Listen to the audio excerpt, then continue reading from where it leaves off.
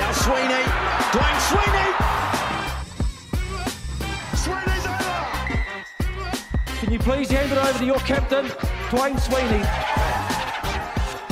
Welcome to Reel Tails with Sweens. This episode, I chat with Troy Flavell. Troy is an ex professional rugby player who played 22 tests for the All Blacks, represented New Zealand Sevens, New Zealand Māori, played as provincial rugby for North Harbour in Auckland, Super Rugby for the Chiefs and the Blues, and he also spent some time playing offshore, where he played for Toyota and Mitsubishi in Japan, and then went on to finish his professional career playing for Bayonne in the south of France. More recently, Troy has been one of the stars in the new hit TV show Matchfit. Matchfit was a show based here in New Zealand where some ex All Black rugby stars showed how important it was to maintain a healthy lifestyle. In doing so, some of the ex stars showed some amazing vulnerability as they shared their personal struggles. Troy is a very charismatic person and has a great nature, and he shares some great tales with us. From what it was like to be a part of Matchfit, taking on Willie Mason in Fight for Life, a charity boxing event, the early days of professional rugby, and his passion for fishing. We also share how special the New Zealand Māori team culture is to us, and what it was like to play professionally in Japan and how we found the Japanese culture. Troy also gives great insight into his time in France and so much more. As always, the show notes will be available on Instagram at Reel Tails with Sweens and the website reeltailswithsweens.com. The website has all the links to listen on your favourite platform and some great content on all the guests. As Good George Brewing has partnered the podcast, all of the listeners will receive 10% off on your online purchases. Just enter the discount code REELTAILS before checking out. Lastly, I want to thank Troy for sharing his tale. It was an absolute pleasure to sit down with your mate. Thanks for listening and enjoy the podcast. Sweet. Sweet. Pretty good setup. Yeah. All right, so I'm just sitting here with Troy Flavell, All Black number 990. Nice to be here, Sweet. Yeah, yeah. No, thank you very much for making the effort to come down. Um, we've actually got a bit of a Christmas do for the podcast tonight at Good George, so yeah, you're I've pretty ti- keen to come down. Mate, I've timed that well, haven't I? yeah, we've timed it well. And the and the surf's up tomorrow at Raglan yes, too. yeah. Surf's pumping at Raglan tomorrow, which is just down the road from your place. So I'm uh, got the board on top and um, yeah, ripping to it tomorrow. Nice, nice. I suppose just to kick it off, I remember playing against you when I first sort of came on the scene. You probably don't remember too much of me, but I definitely knew who you were and I remember your haircut. yeah, terrible haircuts. we were just talking about those, weren't we? Yeah, I don't know, probably had a rat's tail or something back then, eh? a bit of a scucky ass mohawk. But yeah, and then lucky enough, oh, well, you know, obviously we're rivals right through my career, and I'm not a big fan of the Blues, North Harbour, or Auckland, who you played for, but then was fortunate enough to play alongside you in the Pack the Park game down in Invercargill. Yeah. And it's amazing how you can go your whole career play against these people, and you have like an like you do you have an opinion on someone through, I guess, being enemies in terms of teams. Yeah. But it's not until you actually get to know that person that you actually have a real understanding of, of who they are. Yeah. Yeah.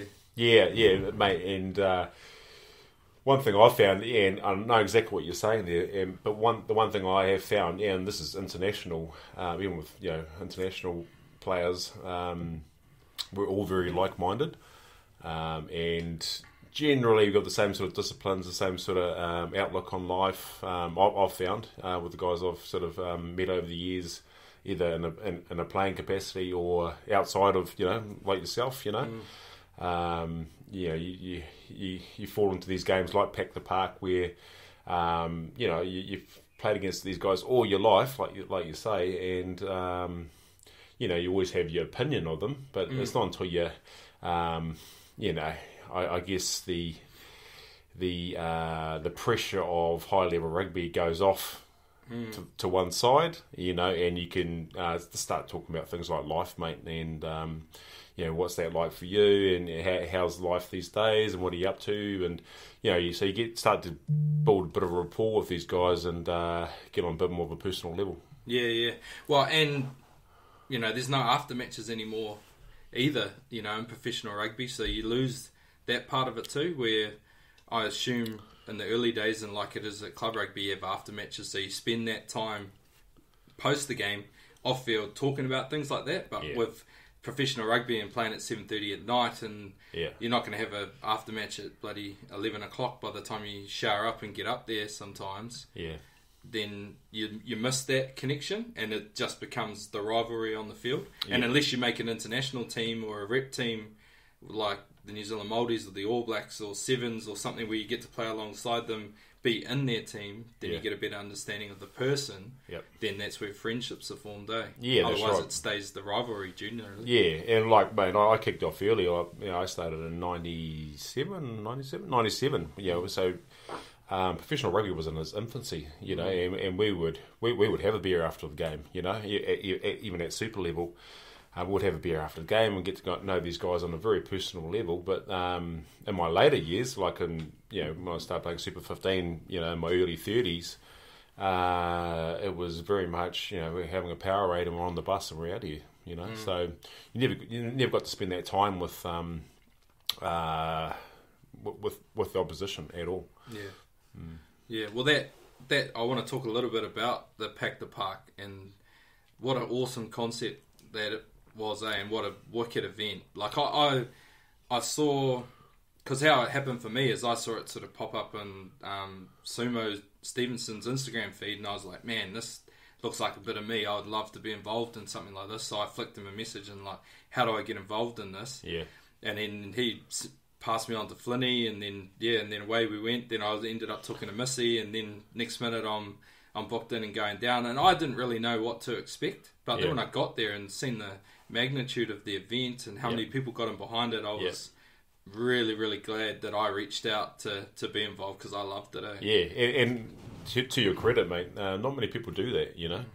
Uh, a lot of guys, you know, at our um, lovely mature age, um, you know, there's a there's sort of a handful of guys that work that circuit, so to speak. Um, you know, we go to all the Barbars games. Um, you know, there's probably about sort of ten of us, ten sort of core guys, and we get the phone call all the time. You know, which is which is great. Like I love being a part of it, and I'm still able to play, so why not play? Um, but then we have there's always a few new guys that come along, you know. Yeah. And you know, you came along this year, and that was bloody awesome, mate. And uh, uh, just meeting new guys, and uh, yeah, now that obviously the pressures of rugby have, have fallen fallen to the side, to the wayside now. Um, you can start and just enjoying having a beer and playing, playing playing the sport we love for for an amazing event. Uh, Missy did an outstanding. Um, put, yeah, that the, the whole weekend from from start to finish, as you know, was just outstanding, you mate. And the uh, the post event um, after the game, but the whole the whole city got on board. Yeah. all of them, the cargo got on board. You know, all the locals, all the the local business dealers. Um, yeah, just made the whole event and whole weekend um, that much better. You know, it was great. Yeah, yeah. No, it was. I couldn't get over. Like, I had no idea what we were walking to, into for the post event. Did you? did you think it was going to be like that? Oh hell no! I thought we were going to. There was going to be um, Mate. like like the breakfast Yeah. that we went to. I Oh, thought awesome. oh, there'd be half a dozen tables. And, Yeah.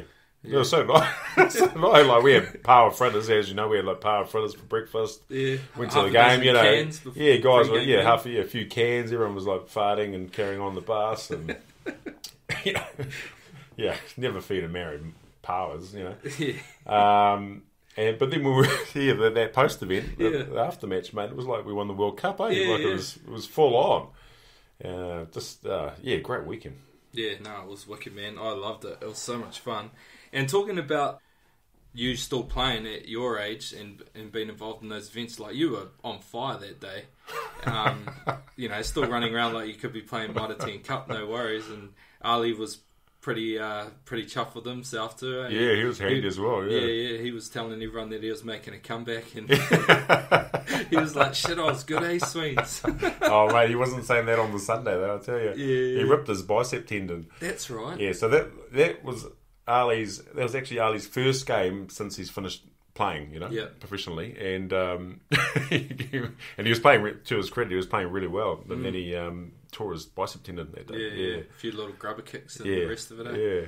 Yeah, he's a he's a good like. See, Ali's another one. Like I never, you know, obviously I grew up here in the Waikato and playing for the Chiefs, and Yeah. I hated the Blues, hated Yeah. Auckland, hated Yeah. Ali. Yeah, fair You know, like I would have hated you too. Well, I like I can admit it now. Um, but and like I'm, I played with Ali in the Barbars Yeah. and over in the UK, and I was just like, this dude's the man. Like Yeah. he's, but it's just so funny how you have a perception of Yeah. somebody, but it's not until and.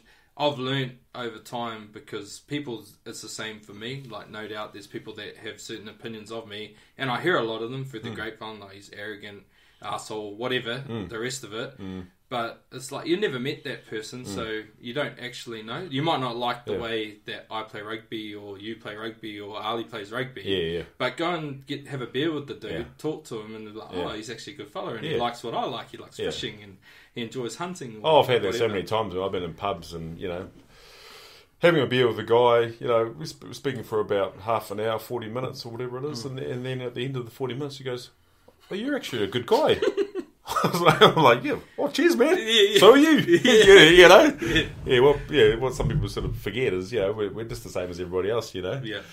So, yeah, No, and then from that, um, match fit was like you were you had already started training prior to that game, eh? Like for for the match fit, had you? No, No? no, no, we haven't. Hadn't. Yeah. No, no. Uh, from the time we signed on for Match Fit until the time we started filming Yeah. was three to four weeks. Oh, okay. Yeah, so it happened within a short period of time. Yeah. Obviously due to COVID and and whatnot, and just the short time frames to you know find a slot before Christmas, etc.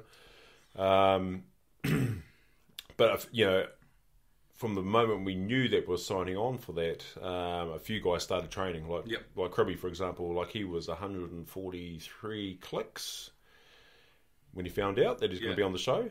He started losing weight then Yeah. and he got down to 133 or something, and then he got okay. yeah. So he actually lost about 10 kilos before he even came on the show, Yeah. and then he continued to obviously um, progress and uh, make those gains. But Yeah. um, yeah, Yeah, well, it's a massive. Oh, the feedback that has come around, and like I talked to different people from outside of rugby circles, and that everyone loved it. Eh? Like, Yep. and just seeing the vulner- vulnerability of the guys to go on and you know basically show all. Yep. Like it, it's that's the hard thing to do, but easier for you in the nick that you're in. but you know, like some Yeah. of the some of the guys, was it for Yep. you? We we obviously because you didn't need to go on to to lose weight. It was more just around the awareness. yeah, it was around the awareness. Um, for me personally, it was about giving support as well Yep. for the guys who were going through that. You know, um, you know, sort of all in mentality. Um, obviously, Kribby and I grew up together as you know, since we were four year olds, basically. So um, you know, we lived out of out of out of each other's houses, and so so for me to be there and give him that support on a daily basis, you know, making him accountable for you know what he's putting in his mouth, what, what kind of training he's doing, etc., etc. Um, yeah, that that was that was priceless for me. Yeah.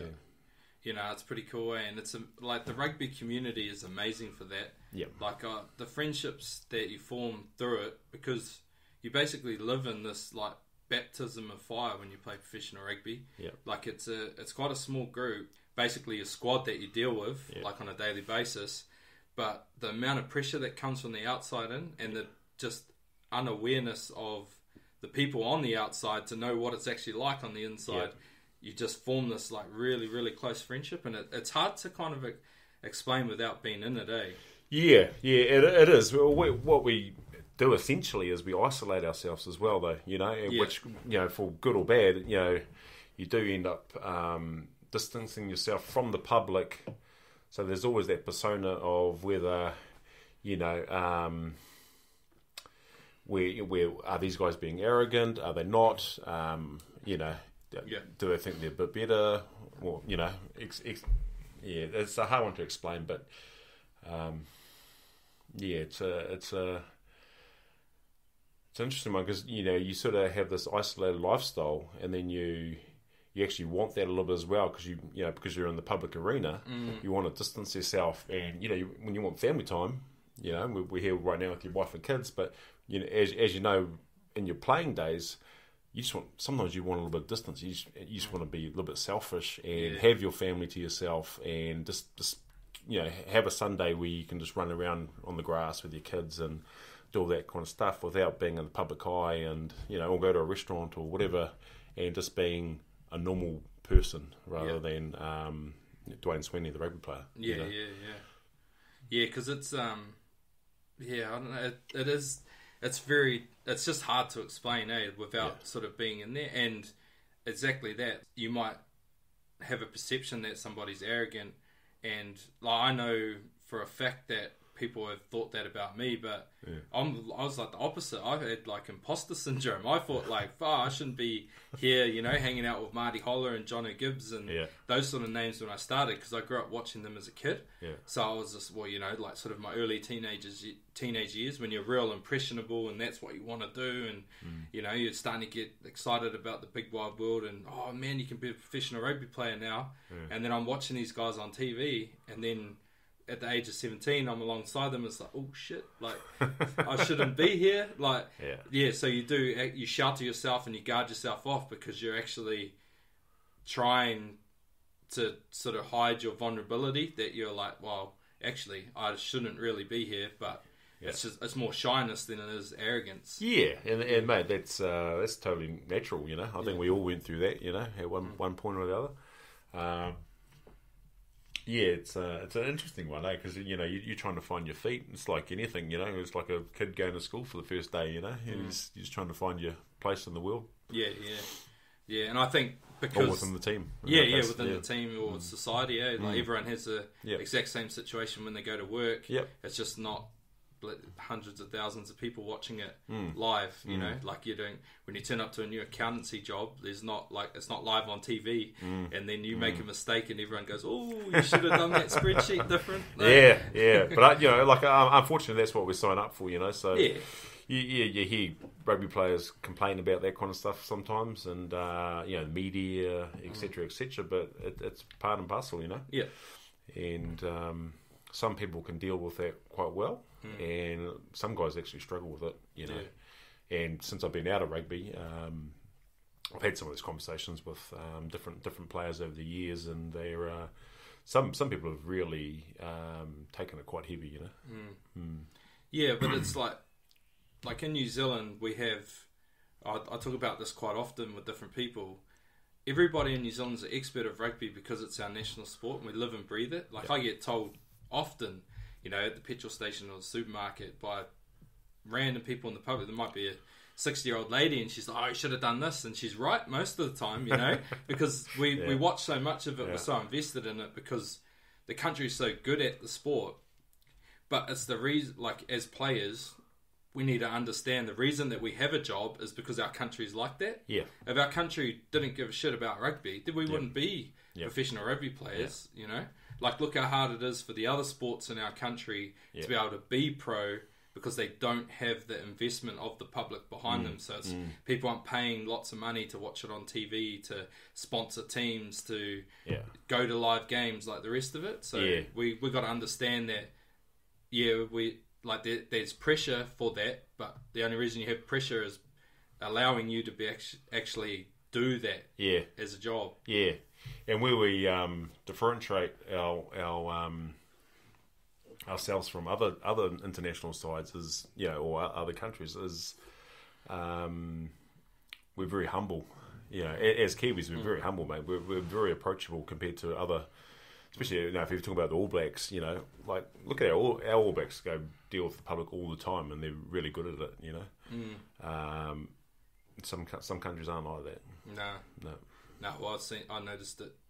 It wasn't. Yeah, when I went to overseas to Japan and then started dealing with some of the other international players from, it, I was just like blown away. I was like, man, no wonder the All Blacks are so successful Yeah. because like I wasn't an All Black, Yeah. but in terms of what I could deal with and the adaptability that I had from my career in New Zealand, Yeah. like I was playing with Test match Wallabies and Springboks, and I'm just like, mate, you wouldn't start Mitre 10 Cup with the bad habits that you have. Very talented players, but I was like, there's too too much inconsistency, or you rely solely on one thing. Like in New Zealand, you can't do that Yeah. because there's just someone else there that does everything and is committed and Yeah. puts the time in and the effort and has the talent. So it's like, yeah, it's a very hard way to the top Mm. here in New Zealand. Yep. Yeah. Yeah, man. Oh, the you know the pool of talent we have is huge. You know, um, yeah, for such a small country, Yeah. you know, Yeah. just pump them out. Yeah, Just, yeah. It's crazy. how You could Yeah. probably strip bloody three All Black sides at a World Cup and Yeah. probably all make the semi-finals. Yeah, yeah, You know, yeah, if easily. they got the if Yeah. they didn't meet each other on the Yeah. way. Yeah, Yeah, it's it's amazing, eh? How much talent there is. yeah, Yeah. Um, yeah, you mentioned a little bit there, like the early days of pro rugby. Like I do want to talk about that. Like you kind of went into, into it a little bit, but go into it a bit more. You played Super Rugby in its second year, like 1997. It only started in '96. yeah, You know, like that's just after the World Cup when Jonah Lomu went nuts in '95. Like that's, you know, that's the glory days of well, it was the infancy, like you said, mm. of professional rugby. Mm. What changed from there? Say ten years later, in 2007, when you're the captain for the Blues, Yeah. and then that was my first year of Super Rugby. Right. What what did you? What was the big difference? Like in that time, Wow, mate, Heaps. everything. yeah, Yeah, absolutely everything. You know, like uh, everything. Yeah, every, every you know, from the GM right down. You know, right through the players, coaching staff, how they manage people, um, support, off-field support for players um, is a big one. Um, you know, we we didn't have all that support wrapped around players like they do these days. Um, you know, you got uh, NZRPA that was also in its infancy in my sort of later years. So that, like they Yeah. they were they were still working themselves out. Um, so today's players have all that support in place for them, which is outstanding because it you know it's, it was needed. Um, for us, yeah, I think we touched on it earlier. Um, it was like the Wild West, mate. Like Yeah. every every player sort of had to find his own way, and what rugby did give us was um, the ability to network. Um, you know, and Yeah. young we didn't even know what networking was. It was, Yeah. it was this foreign word. I thought it was something to do with computers or something. You know? yeah, um, uh, yes, we had that ability, we had the confidence, you know, to, to, to go with it, and the guys were able to sort of navigate their way around. Um, and some some guys do really well, but some guys, mate, some guys um, really struggled and uh, found themselves, you know, substance abuse. You know, there was drugs, there was alcohol, there was guys getting counselling, there's guys falling into deep depression, um, and guys just weren't handling life well, especially when- yeah once the, once the rugby had finished. You know, yeah. um, so that whole transition time, uh, you know, post rugby, I'm talking about now, um, transitioning out of rugby life into everyday life is very tough, you know, and I'm sure you could talk to any any rugby player who's um, hung up the boots and ask them about that, and they will have a story to tell. Um, apart from that, um, you know, obviously the, the the game has changed from 1997 to today yeah. uh, a lot faster. Um, there's, there's still a lot of sponsors. Um, I, I think just the overall management, player management has changed, and um, how how they can achieve the best out of that player.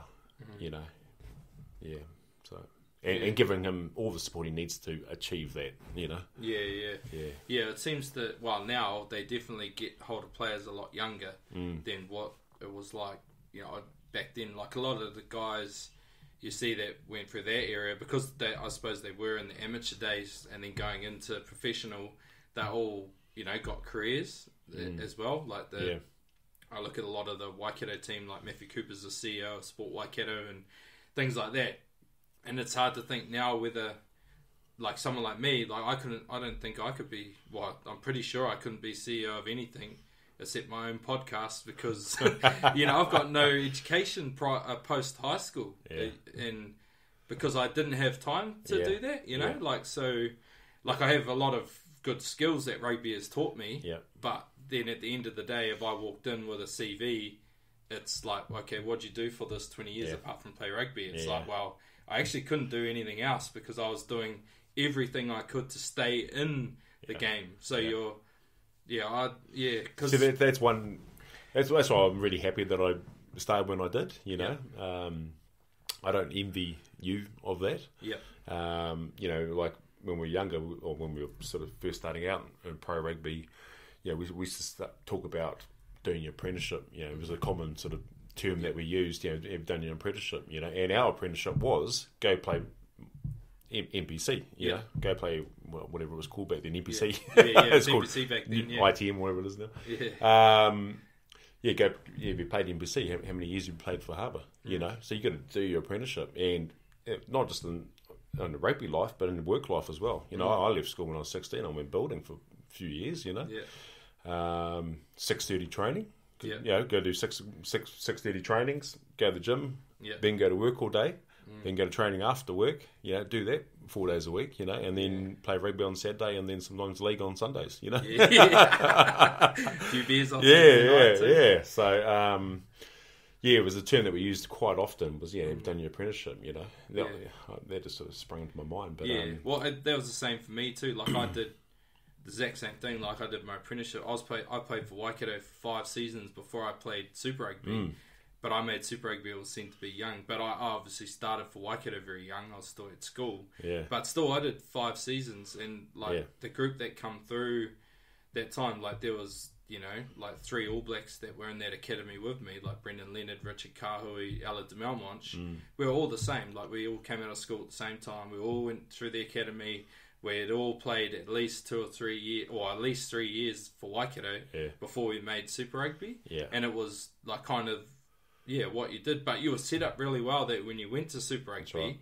because you're like NPC was the New Zealand Cup then when we did it, or NPC into New Zealand Cup.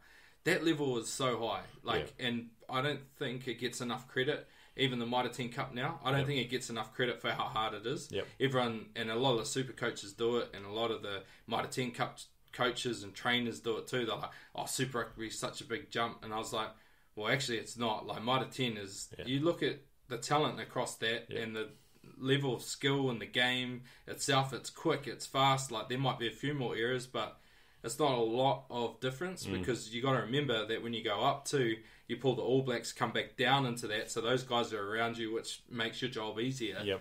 Yeah, so it's it's not that big a jump, but Yep. if you've done that time, if you've done the time, yeah, yeah. But if you And go in and do the two at the same time, then Yep. you're like, which is what's happening a lot now. Like, we, Yeah. some of the boys that are in with Waikato have been earmarked and contracted on multi-year deals from when they were 16. Mm. So they knew when they finished school, I'm going to Waikato. I've got Mm. a full contract straight away with Mitre 10 Cup. And I've got a wider training group or draft contract with the Super Rugby. And in my second year, I'm full and full. And I've got that for three years. It's like, Yeah. what? Where's your Yeah. apprenticeship? yeah, yeah, Yeah, was your Versus apprenticeship, yeah. rugby is not apprenticeship. Yeah, me. unfortunately, when you get guys like that, guys are full of talent, yeah, no hands, you know, um, and they get put in positions like that. Mm. Yeah, it's, it's it's great, but what happens when you know what happens when they take an injury or when they take a knock? Yeah. and that's what you know the grind of ITM does. You know, you, you you get that mental toughness, and you you know how to. Um, navigate your way through the tough times, you know, so you can actually perform, you Yeah. know. Yeah, I can shake that off. I Yeah. can shake that off and focus on the next task. You know, what's Yeah. my next job here? You know, mm. and have that ability. Sometimes you've seen over the past where you've had really young guys make it super young, mm. and they get thrown straight in, from straight from school, straight in, straight into the deep end, basically, and mate, they freak out. You know, it's like bloody throwing a kitten out there. You know, you, you know, they, they they just don't know how to handle the environment or, or the external pressures that come with it. Yeah. You know, Yeah, well, I didn't. I was just lucky that I had an awesome support network in terms of family and friends around me, and that, that Mm. That's key. A lot. Yeah, That's key. that's key, But yeah. not not everybody has that. No. You know, and it's and yeah, you can say that uh, like the NZRU is doing a lot better job in the Players Association about that, but it's still a very high risk environment to be like, well, you can only be with them at training, but you're not with them at home. Yeah, You know, you, mm. you, I was lucky I could go home to mum and dad's. I had that support network of mum and dad being there. When I had a shit day, I could go home. They would, they could read me like a book because mm. they're my parents. And you sit down and they know exactly how you're feeling without you saying anything. And they start to ask the right questions to get you to talk. Because I wasn't going to go home and go, oh, I had a shit day and I'm feeling this and that. Because you don't, you know, it's just not human nature. Yeah. So you think like, oh no, I need to suck it up, or I'm a rugby player now. I Yeah. need to be tough, and I need to. Oh, that's what I was expect, about to say. Especially if you're a rugby player, Yeah. you know, you don't you don't express, you know, all your heartfelt and yeah, yeah, because you think it's seen had a had a bad day. Yeah. yeah. you know, it was it was frowned upon, and, and you know, so it's good to see that people are changing their mindset now Yeah, yeah. about that um, with you know men's mental health and Hmm. you know in that regard.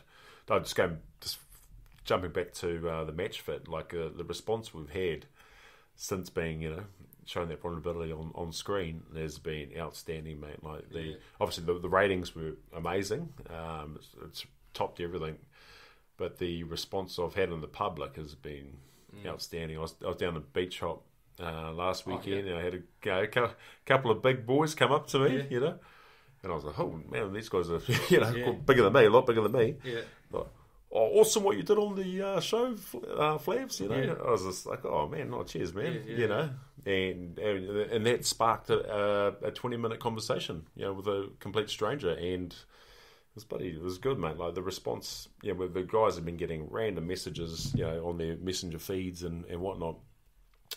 From complete strangers, this this this, this um, thanking them for um, showing their vulnerability, but you know, talking about their kids, you know, their nine-year-olds or eight-year-olds who are trying to find their place in this world, and you know, and it's just great that you know, it's a real, uh, it's been really encouraging uh, to see All Blacks be so open um, to talk about their feelings, and it's you know sparked the whole thing within their families, and or you got guys who have. Um, started training or you know decided to start eating better or you know want to be here for their grandkids and you know just yeah it was, it was just the response was outstanding yeah yeah. It's awesome, eh? But it's it's also as a society we're getting a lot better at understanding that not everything's perfect too. yeah And I think and, so- and being okay with it. yeah, it been okay with it. Like Yeah. I think social media for a while there was almost well because it was new. No one really knew how it worked, and now we've got a bit more educated on it. We understand that there's filters and different angles you can take photos to make you look better than you know what you your body really is, or Yep. you know like these you know supermodels now will put photos up where they look terrible body wise because they're just like well this looks like this if you take it from this angle Yeah. and then so it's okay like it's we're not Yeah. flawless we're not perfect every time it's Yeah. good lighting it's good cameras Yeah. so i think like as people we're starting to understand that okay not everything's perfect Mm. it's never gonna be perfect so i need to stop chasing perfection and just worry about yeah and, you know, and just embrace what you got yeah embrace know? what you got yeah. enjoy it yeah you know you want to be healthy um and that, that's the main thing really Yep. It's not- being healthy yeah yeah. but you you do a bit of f45 eh yeah, but I'm, uh, yeah I'm a big uh, F forty five fan yeah like yourself mate Yeah, yeah. I've just uh, recently my um, brother and his wife opened one up in Morrinsville, so yeah do, I'm working there sort of 25, 30 hours a week and okay do a class every day. And yeah great It's good, eh? Oh mate, I love it. I just love the, the buzz. I love the hype, the, the uh, intensity. You know. Reminds Um, me of footy, eh? Like, yeah, yeah, it does. It's that kind of workout, you know. And you, you go in there, and um, it's forty five minutes, hammer and tongs, music's cranked up. Um, no workouts the same. You know, I, I sound like a bloody business owner. No, mate, yeah. Sell it, bro. I'm not. I'm not. I'm not a business owner, but I no, I just I just really love it. You know, and I I pretty much did the same workout for about 22 years or something. I worked out one, Mm. one day, and uh, I was just like, man, I'm so over this. You know, Mm. and so I got into F45, and I've been doing it for the last two years. Yeah, yeah. Well, I, that's what I love about it, and it's funny because I, I never, I never really knew what it was about. I'd heard about it, and I knew a few people that kind of went there, but I wasn't until my brother and his wife opened it, and then I was like, oh. And then they asked if I wanted, like, I was looking for a little bit of work in that. So they were like, "Oh, well, would you be keen to be like a, you know, assistant studio manager for us because we're balancing young kids and stuff?" I was like, "Yeah, yeah, I'll be keen." As it works with doing this podcast, allows me some time and stuff to to do both. Yeah. So I was like, "Yep, yep, I'll be keen." And then we went along and did a session. We did a Hollywood session, the old one hour on a Saturday at another studio. Oh, I nearly died. Eh? I was like, I, you know, still pretty fit, like Yeah. playing, you know, club footy and stuff, and um, yeah, I hadn't done anything since the season had finished, like sort of three or four weeks, been for a couple of runs or whatever. Yeah. But I was just like, but I loved it, eh? Like straight away, I was like, this is, Yeah. this is me. Like, and then they start to expl- explain the system and how it works, and I was like, oh man, like, I get it. I totally get it. Why Yeah. people are Because people love it, eh? They get addicted to Oh, it. you, you are, mate. It's the Yeah. release of endorphins, you know. Yeah. At the end of the session, you're just like, oh man, I was absolutely Yeah. Um, but I'm coming back. I'm coming back tomorrow. Yeah, yeah, yeah. yeah. It's like sugar, you know. Yeah, yeah, yeah. yeah, nah, definitely. And also, like talking about um, like charity side of things with Match for Net, you did Fight for Life too, eh? Yeah, yeah, oh, yeah. Mason. Yeah, I, I did, mate. I was a bloody idiot. Sign up, sign up for that one. I'll No, get you they- beer. Okay, mate. Um, yeah, they, they they rang me. I was actually living in France at, at the time, and um, they rang me up and said, "Oh, would you like to uh, fight for life?" And I was like, "Oh, no," because I've always sort of, I, I love the sport. I love the sport, and I, I've never really Had you had a fight before? No, no, no, never, never fought in my life. But I did like having the bag, you know, just as, as a form of training. Uh, and I said, "Yeah, yeah, I'll, you know, I'll do it. I'll do it." And, oh, Flavs, you're gonna have to, you're gonna have to train, you know, with the boxing trainer. Oh, yeah, yeah, yeah, sweet as, don't worry about it. I was building a house over there at the time, and I was like, I was like, "Yeah, I don't need to train. I'll be fit, you know. Yeah. I'll be fit as a fiddle." Mate, I did no training. I, I, I was hammering tongs with this with this house I was building. So I was working long hours on the house and um, not enough time for training. Flew back here. He had done a three month um, training camp with Jeff Fenech. Uh, Jeff Fenech, um, who was you know one of the top Aussie trainers. he just did this the whole three month boxing camp thing. Yeah. So I got thrown in the deep end. First round, he absolutely pummeled me. I went back to my corner. I said, "Bro, what the hell is this?" And my mate, my mate was my trainer as well. He just go, "Bro, you're gonna have to pull something out of the bag here, bro." so the second round, I was like, "Oh, poor technique," but I, I you know, I managed to um, win that round, the second round, and then I drew in the third round. with Yeah, yeah. So um, I was pretty happy I got the draw. To be, Yeah, to be, hell to of be an fair. effort. Like, yeah. He's a bit of a weapon too, old Willie Mason, eh? Like pretty, pretty big man, pretty. Fit. Yeah, yeah, he was a big man. I don't know what I was thinking, to be honest. Like I was, Did you know you were fighting him when you signed up? yeah, Oh, yeah, yeah. I did. Oh, Yeah, shit. I thought, oh, no, I've you know, I've always sort of backed my fitness, but um, Yeah. mate, my, my, after about thirty seconds, honestly, my legs were jelly, absolute Yeah. jelly. Yeah. And did you think it was going to be legs, or did you think, oh no, my arms will blow out? oh, I thought it might be my shoulders or something. Yeah, you yeah, know, yeah. yeah, you just legs just gone. My legs, yeah, those were like rubber. Yeah, yeah. That'd be a pretty eerie, scary feeling being in the ring and having no feet under you. Oh, you, you know, you it's gotta like, move. Yeah, well, you know, it's like in rugby, mate. You just like, oh, you, you know, I've got, I've got the energy. I've got the, you know, I, I can, I Yeah. can, I can pump out eighty minutes. You know, Yeah. like you feel strong and, and knowing that, you know, Yeah. knowing that your body is uh, equipped for this. Yeah. You, you know, with rugby, and then I went into the ring. I was like, holy shit! You're like, oh yeah, come on, like two minute rounds, Yeah, I'll be right. It was Yeah. two minute rounds, three. yeah, it was like three two minute rounds. I was like, how hard can? Oh no, three three minute rounds. yeah, yeah. I was like, how Like hard, nine how minutes, hard can do- that be? It's yeah, like I nine do- minutes. Yeah, yeah. Shit. I do eighty minutes. Yeah, pump eighty. Pump eighty at Pack the Park too. yeah, don't. Yeah. Did you Six- get a sub? Nah, No, no, no, no, neither. no. Nah. We were a Yeah, yeah, yeah. We just yeah, yeah. We bloody, we were a bit undercooked our team though. Eh? We didn't get the rub of the green with the local boys. They think they stitched us up a bit. yeah, yeah, We're good roosters though. yeah. Nah, Yeah. We oh, just didn't have the fit ones. mate. Off the park, we were the best. We're yeah, long yeah, shot. Yeah, definitely. yeah, well, what was it? We got home at three thirty, didn't we? Yeah, Saturday morning. yeah, Yeah. yeah, it wasn't the best prep, and then we had a couple of tins at lunch before. yeah. A few tins at on the lunch, and then um, but a few paua fritters, and Yeah, I went out to warm up, and my heart rate was just through the roof. Did like a fifty meter jog, and I was like, Ooh. yeah, I was yeah, and then I'd been playing. Yeah. know, I've been playing club rugby up until oh, maybe six weeks prior to that. So, yeah. yeah, I'd hate to. So you came how- in hustling. Yeah, I'd hate to think how the other boys that hadn't been playing. I think you helped me out. Actually, you're like, oh, Flash, just run out, run, run this gap outside me. I was like, okay, I'll, I'll try. Yeah, yeah. No, but you made that big break when we scored from Yeah, round yeah, 22, eh? yeah. But yeah, you put you put me on the gap there. Yeah, yeah. And I, I couldn't keep up with you though, and she took off. I thought I was going to make it. Yeah, yeah, so did I. Fucking Ali, Ali Yeah. started coming chasing Oh, me how, down. how good a Nick was he in, eh? Yeah, he's in, he's in great nick. Yeah, yeah. Uh, Ali. He looks Yeah. the same. Just honestly Yeah. looks the same. Moves the same too. Like, Moves the same. It's yeah. got, got the steps still. Just, Yeah. just a few wrinkles. Yeah, good all. Balance in that, eh? But it was it was real funny because like uh, obviously I'm still connected to the playing group of now, and these guys were like, oh, like Quinn Tupaea is a good example, like centre for Waikato and the Chiefs. He was two when I debuted for Waikato, so you know like, and then I was playing with him. But then, so there's a lot of guys playing in this game that he'd never seen play rugby before, you know. Yeah. And yeah. I'm just like, what? Like how? But then you forget, you know, like I, I forget like the, how Yeah. big the age gap is between Yeah. us. But it's like, what? He's like, oh man, I like what I love watching it. Like those old boys still got it, you know. and I was like, bro, like once you got it, you got it. It's just you slow down, Yeah, but yeah. you still got the vision, the skills. You still Yeah. see things. Yeah, yeah, yeah, yeah. And it was, I made. You might not get there, but yeah, no, you, but you see can it. see it. Yeah, but there's the little touches, you Yeah, know, and yeah. Mm. that's the stuff you never lose. Like class is permanent. You know, form's temporary, but Yeah. class is permanent. You got class, and Yeah. if you look at the caliber of players that played, so Yeah. you know yourself.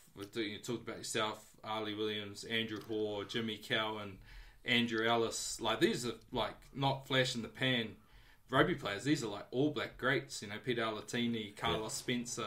Like these. Mm. Yeah. are That was a some great big, big names. yeah. Tony Brown. Like Yeah. yeah it's yeah, it was pretty. It was pretty cool for me to play. It got like because a lot of those guys I'd actually played against when I was younger, Yeah. so it was actually cool to reconnect to play against them again. But older, like Ogre, Paul Miller, Yeah. like we played my first year out of school.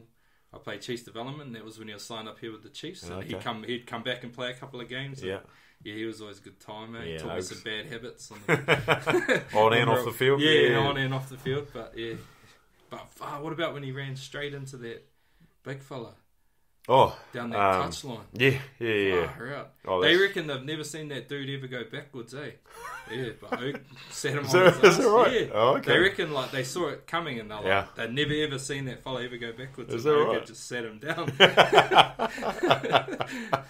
Oh, I can't think of I've never seen Oka go backwards either. no, so. that would have been probably 300 kilos of weight hitting each other. Oh, by the way, the two of them. there's some big bodies. Yep. No, it was pretty cool.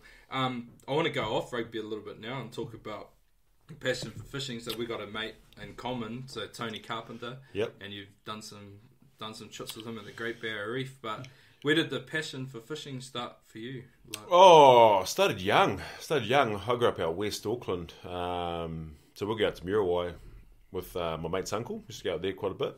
You know, go up, you know, go out through the breakers and hit, some- hit some west west coast goodies. You know. yeah, Um, but in between that, no, we had the creek down the road. Um, yeah, we didn't have we didn't grow up with a lot of money or anything, so we'd jump on our bikes or, or, or walk, and we'll go down the creek and do, go, go eeling, or we'll go down to the wharf and you know just just go for bait fish Yeah. really. Um, it, it started from there, mate, and I've you know I've always had a boat. I bought my first boat when I was sixteen. Yeah. Sixteen, yeah, because I went building. I, it was the first thing I wanted to buy was a boat. yeah. So I bought a little uh, fire end 12 footer. Oh yeah. Yeah, and then I uh, kept that for years, mate. Um, yeah, and I yeah. got one good fishing story. I was out with Ron Cribb. Yeah. Yeah, Marlo Tippy was a Samoan uh, international rugby player. Yeah. Uh, we were out fishing out, out off Omaha, and I had like a little 30 horse, which is quite big for a 12 footer. Yeah. Yeah. So we were cruising along Omaha. Just, I was sort of showing off. I was showing off. I was just out past the breakers, you know. I was like in and out, in and out, showing off. I shouldn't even be in there. And uh, honestly, the, the outboard came up unhitched off the back of the boat.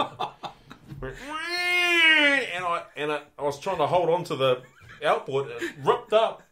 And then it's like ripped out of my hand and screwed it along the top of the water. No shit. Screwed it along the top of the water by itself. The outboard just went across the top of the water for about 20 metres and then and went under the water. And then we were just like, mate, I had no, no oars, no bait no, nothing. No flares, no, no life jackets, nothing. How old were you then? Oh, mate, I would have been 19? Oh yeah. Yeah, 19 or something, you know, long hair, trying to impress the chicks. Yeah. Um, yeah, and we're stuck out there, mate. We, I know, so we're paddling, trying to paddle into these waves with our hands and trying to get back into shore. And oh, it was a debacle, mate. Yeah, I ended up leaving the. I actually left the boat on the beach. Yeah. Don't go back and get it. I oh, just I just left it. I was like, screw this. This sucks, you know. I was, I was that embarrassed. you Yeah, know. you would have at that age. Yeah, today, yeah. I was just so like, oh, this was my pride and joy too. And for me to leave it, I was. Just, you just would have left it because you wouldn't want anyone to see. Yeah, yeah, yeah, yeah. So no outboard, nothing. But um, no, like, like so, uh, a good mate of mine, um, Ben Allen, and I, we um, we do a lot of fishing out off the Knolls up by the Hen Chicks. Yep. Do a lot, lot up, been out up that way. Yeah, heard it. Yeah. It's good. Yeah, mate. Like at the back of the Knolls, out the back of the Mokes, and that we um, go for pooker and blue nose and bit, bit, bit of bass if we're going to go a bit wider. Uh, do a lot of snapper fishing, kingy fishing out of McGregor's and whatnot. Um, up, up around Mangawhai. Still go out the west coast quite a bit. Went out there a few weeks ago and um, Yeah, you messaged me, eh? Yeah, got some good fish, mate. All between sort of twelve and eighteen was the biggest on that Yeah. day, but um, twelve and eighteen pound, you know, Big just- fish, eh? yeah, just monsters, mate. You know, came back and gave them all out to family and friends, which is cool, which I like doing. Yeah, that's what I love about fishing. Yeah. eh, is like, Oh, I keep nothing. I, I never keep fish. Yeah, Yeah, yeah, yeah, Like I enjoy eating it, but I keep enough for probably two feeds, maybe. Yeah, yeah, with same. the family. yeah, because you know I can't eat the same thing over and over, and I only like eating fish when it's fresh. Yeah, so I normally I'm have the same. dinner that night, and we'll have it the next Honestly, day. man, I'm the fussiest marrow you'll ever meet. Yeah. when it comes to fish, you know. yeah, yeah, Yeah, yeah. And then I just yeah, I just love sharing it out. Like Yeah. whenever I go for a fish and come back here and Yeah. fill it up, I'll send the text out down the road, and Yeah. whoever wants it, I drive down and drop it off. And Yeah. I, I love how grateful people are for it. Oh, too, mate. because not everyone has the means, you know, to get out there and Yep. and And catch fish. You know, as we know, what's Yeah. what's fresh snapper these days? 45 48 dollars a kilo or something. Yeah. Like, you, you know. yeah. Here, here you go. Here you go. Here's, Here's- here's a big bundle of fillets. Yeah, Yeah, yeah, here's yeah. a big bundle of fillets. Yeah, go for gold, you know. yeah, yeah, yeah. But um, no, I just love fishing and, and back to TC. Yeah, like we've had um, went for my mate's fortieth. Um, went over there, and oh, the the fishing on the Great Barrier Reef is bloody next level, man. Yeah. just- Did you did you know Tony before you went over? No, that's the first time I met him was on Hellraiser over in Cairns. Um, went out, we would have had, mate, we would have had probably twelve to sixteen marlin. Yeah, You know, over, over three days, yeah. and then Uh, what a trip. yeah, yeah, it was outstanding, mate. And then, um, you know, it wasn't a matter of you know what if whether, we'll catch one or not. Yeah. It was how big's it going to be, you know. Yeah, And then I went back the following year for my fortieth. yeah, So me and three other my closest mates, uh, we went over there, and um, I managed to get a 650 kilo uh, black yeah. on, um, which Tony Carpenter uh, led for me about three or four times, and then good, we'll get it close to the boat. You jump on the lead, um, we'll pull it right in, then it'll go again. Did that about three or four times, and then it went. Honestly, it went about thirty meters off the back of the boat. No, not even that, probably twenty meters.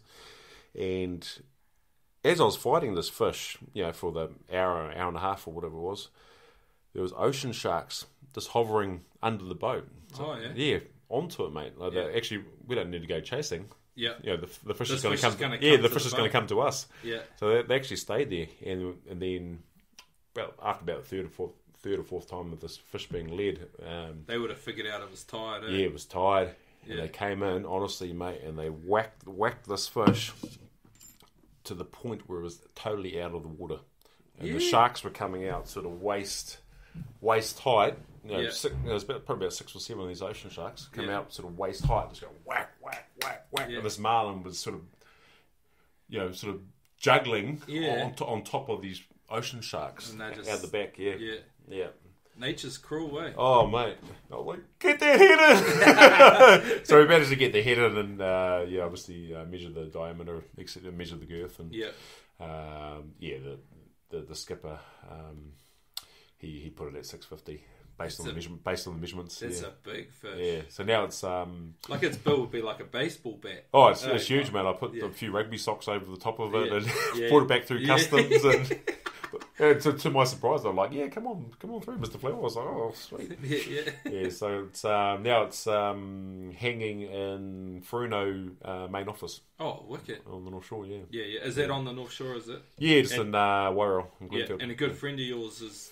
yeah, Gareth Hodson is the um, GM there. Yep. Yeah, and um, yeah, obviously Furuno speaks for itself. You know, Yeah, yeah. They do some amazing Pretty, stuff, yeah, and pretty um, big brand. yeah, everyone's everyone's using the gear, and yeah, TC included, Yeah. and a few other close mates who run charters that they all use it and swear by it. So yeah, well, Tony loves it, eh? Yeah. Like, yeah, he, um, yeah, he's um, he swears by it and he really enjoys it. Mm. Yeah, be a pretty cool brand to to work with, I'd imagine. Yeah, Yeah, yeah, it the is. GM must be a good bastard if he's your mate. Yeah, but resilient. Resilient.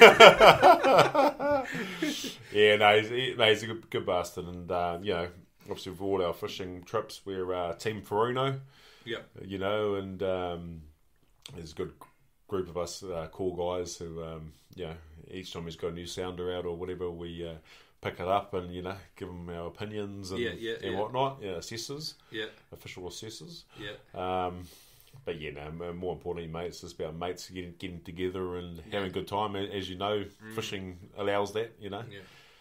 Yeah, I love fishing, eh? For that, like just being able to Yeah, go out. I really like enjoy going out on the west coast here because you lose cell phone reception at about, you know, in the summer when we go out marlin fishing, you lose cell phone reception about the fifty meter mark. Yeah, yeah. And then it's just you know it's just dead, you know, silent. You're there with Mm. your mates and you spin some shit and you're not chasing emails and different things that you know when work's trying to pull you back.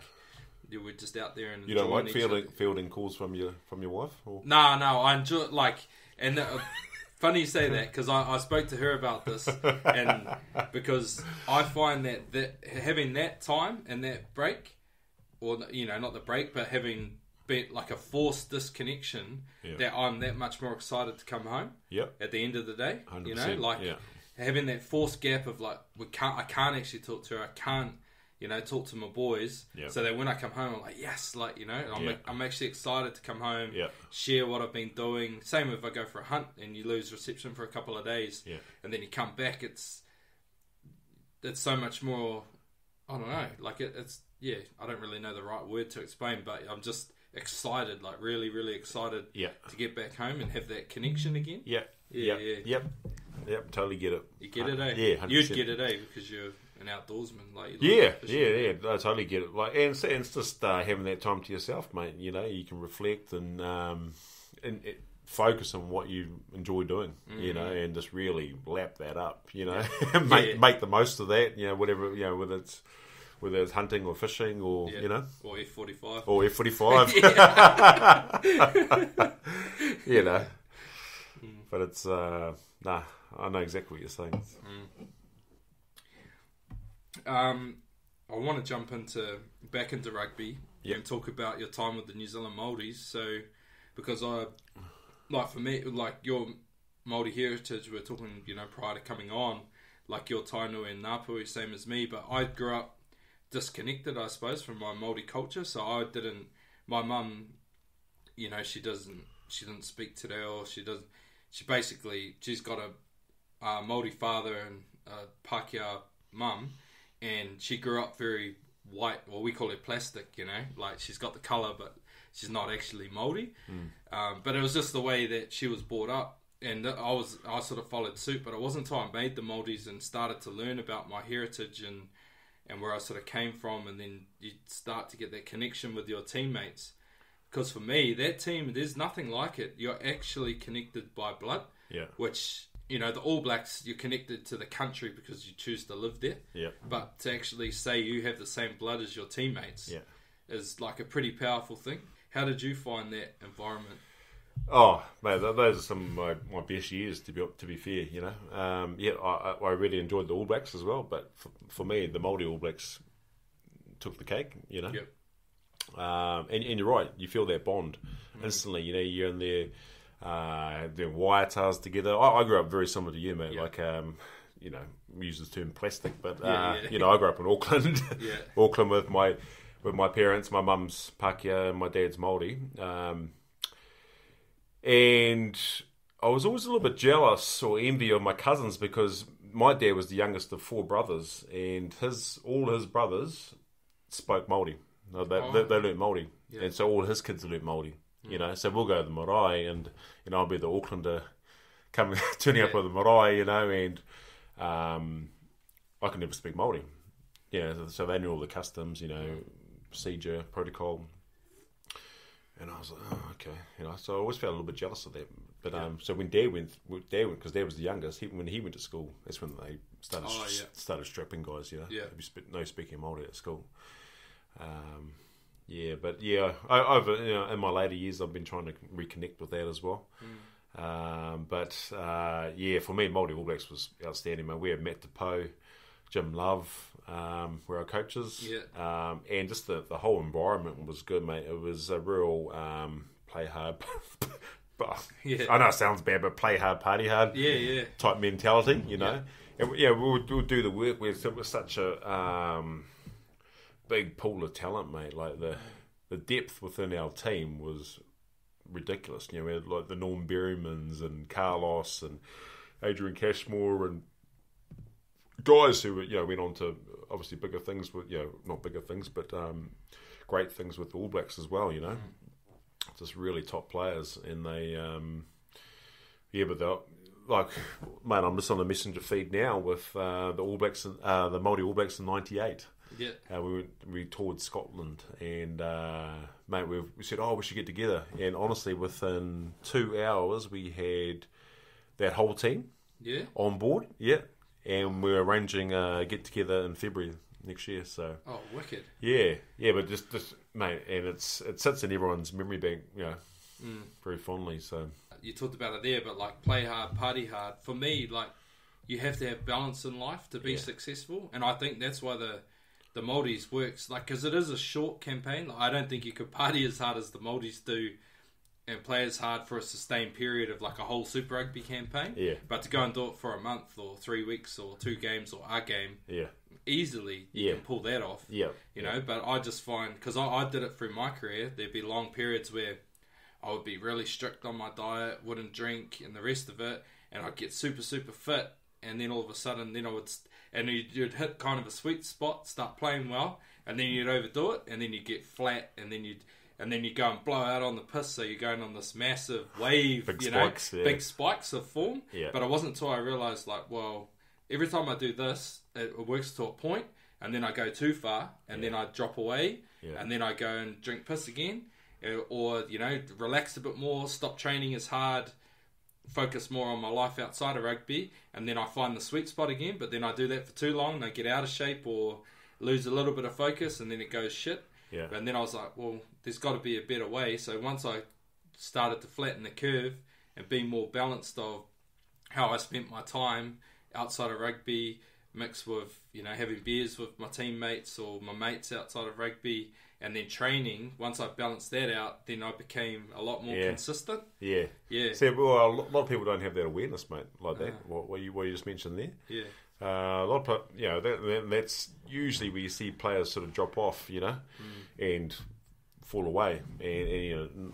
not continue to play at a certain level of rugby, um, you know, because they don't have the awareness like what you just described there. yeah, Um, a lot of people get get on the down and they carry on going down, you know, um, and never sort of work, work it out, never take the blinkers off, and you know, sort of assess where they are and what changes might be needed, etc. So.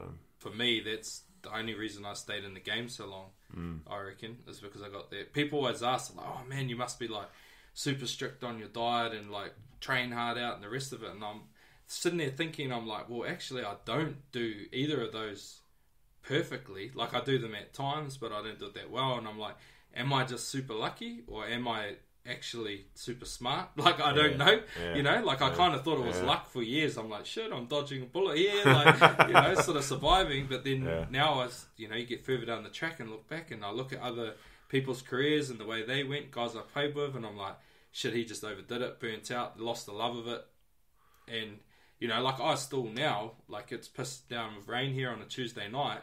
I'm still excited to get in my car and drive 40 minutes to go to club training. Yeah. Like at 36, like that's Yeah, a yeah. bit, you know. So there's some, there's got to be something to that. Like I must have either done something right, or I just have this fire in me that just won't go out. If that makes sense. Like, Yeah, well, well, yeah. Most guys who have played for as long as you have will have the fire, Yeah. you know, and you com- you're competitive, mate, by nature, you know, and you and you don't want to, um, yeah, you got that drive, you know. If you if you have, still have the ability to play, then, then play, mm. you know. Yeah. Well, everyone keeps saying, "Oh, you're a long time retired." Yeah, Yeah. that's why, man. That's why I always put my hands up for those all those charity games and all that. Mm. I, I love having a crack, you know. Yeah. Yeah, or, or or challenge myself in another way. You know, um, I did Oxfam last year, you know, which I really enjoyed. That was a hundred kilometre walk. Yeah. You know, just- so just putting yourself out there. You know, I like surfing. You know, sometimes I throw myself on some real big surf, too too big. I should Yeah. I shouldn't actually be out there. I shouldn't be out there by any stretch of the imagination. You know, guys Yeah. out there, you know, way more experienced than what I have. But um, that's what life's about, man. Yeah, yeah. Pushing it. Yeah, well, because it's funny you sort of mentioned that there in the Oxfam thing because uh, I've always said that I want to run a marathon. Like I, I don't give a shit how fast I do it. Like I just want to do it, so I've done it, like a Yeah. bucket list kind of thing. And a, a mate of mine, Jack Devan, um, from Morrinsville, or he's not a he's not a well, he is a mate, but he's um, just a young fella in Morrinsville, and he put a post on Instagram a couple of weeks ago and was like, "Oh, I want to do this." Um, now that I'm talking about this, I'm going to have to do it. But he put this post up, and he wanted to create a like he he put the post. He said, "I want to create a movement where I can get hundred people together. We run a marathon. Each of us raise a thousand dollars, and we donate it to mental health in New Zealand." So he just put this post up, and I just replied. I saw it, and I was like, "I've always said I wanted to do one, or I was going to do one." So I was like, "Well, if I don't say yes now, I'll end up putting it off, and I'll get to a point where I end up stop playing rugby, or I lose a lot of fitness, and then I'm going to have to train super, super hard to get to a point to be able to just complete it." So I was like, "Fuck it, uh, you know, I'm going to do it." So I said, "Yeah, bro, I'm in." And then he's like, "Oh, that's sweet." And then I started talking about it at at the gym um, with different people in the community, and all of a sudden, like everyone's like, "Oh man, like, yep, we'd be keen as to get in behind this." And Yeah. I sort of said to him, I was like, "Oh, how how are we going to do this? Like, are we just gonna are we going to run it here in Morrinsville? Because everyone was asking, like all the local businesses in Morrinsville started talking. They're like, "Oh, we're going to run it here. Are you going to run it here in Morrinsville?" And I was like, "Oh, I don't know." So I asked Jack, and he was like, "Oh, I thought Morrinsville doesn't have a marathon; they only have a half." And I was like, "Bro, we'll just run our own. Like, if ten people turn up and do it, ten. If it's just me and you, then we'll just do it. Like, Yeah, it doesn't matter. We'll just sort of map it out. But Yeah. then it's kind of growing and." Like I, I don't. I hope it becomes a really big thing because it'll be Yeah. awesome for the town, awesome for the awareness, Yeah. and it'll be really, really, I mean, I've, I've been. Uh, it's on my bucket list still. yeah, Yeah, I've done. I've done two halves. yeah. Two halves, but um, I'd like to make it a whole. I'll sign up, Come mate. yeah, we'll sign up. I'll sign up. Sign me up. Nice. I'm in. Yeah, yeah. No, I think it'll. Um, yeah, I think we sort of started talking and and and messaging kind of back and forward.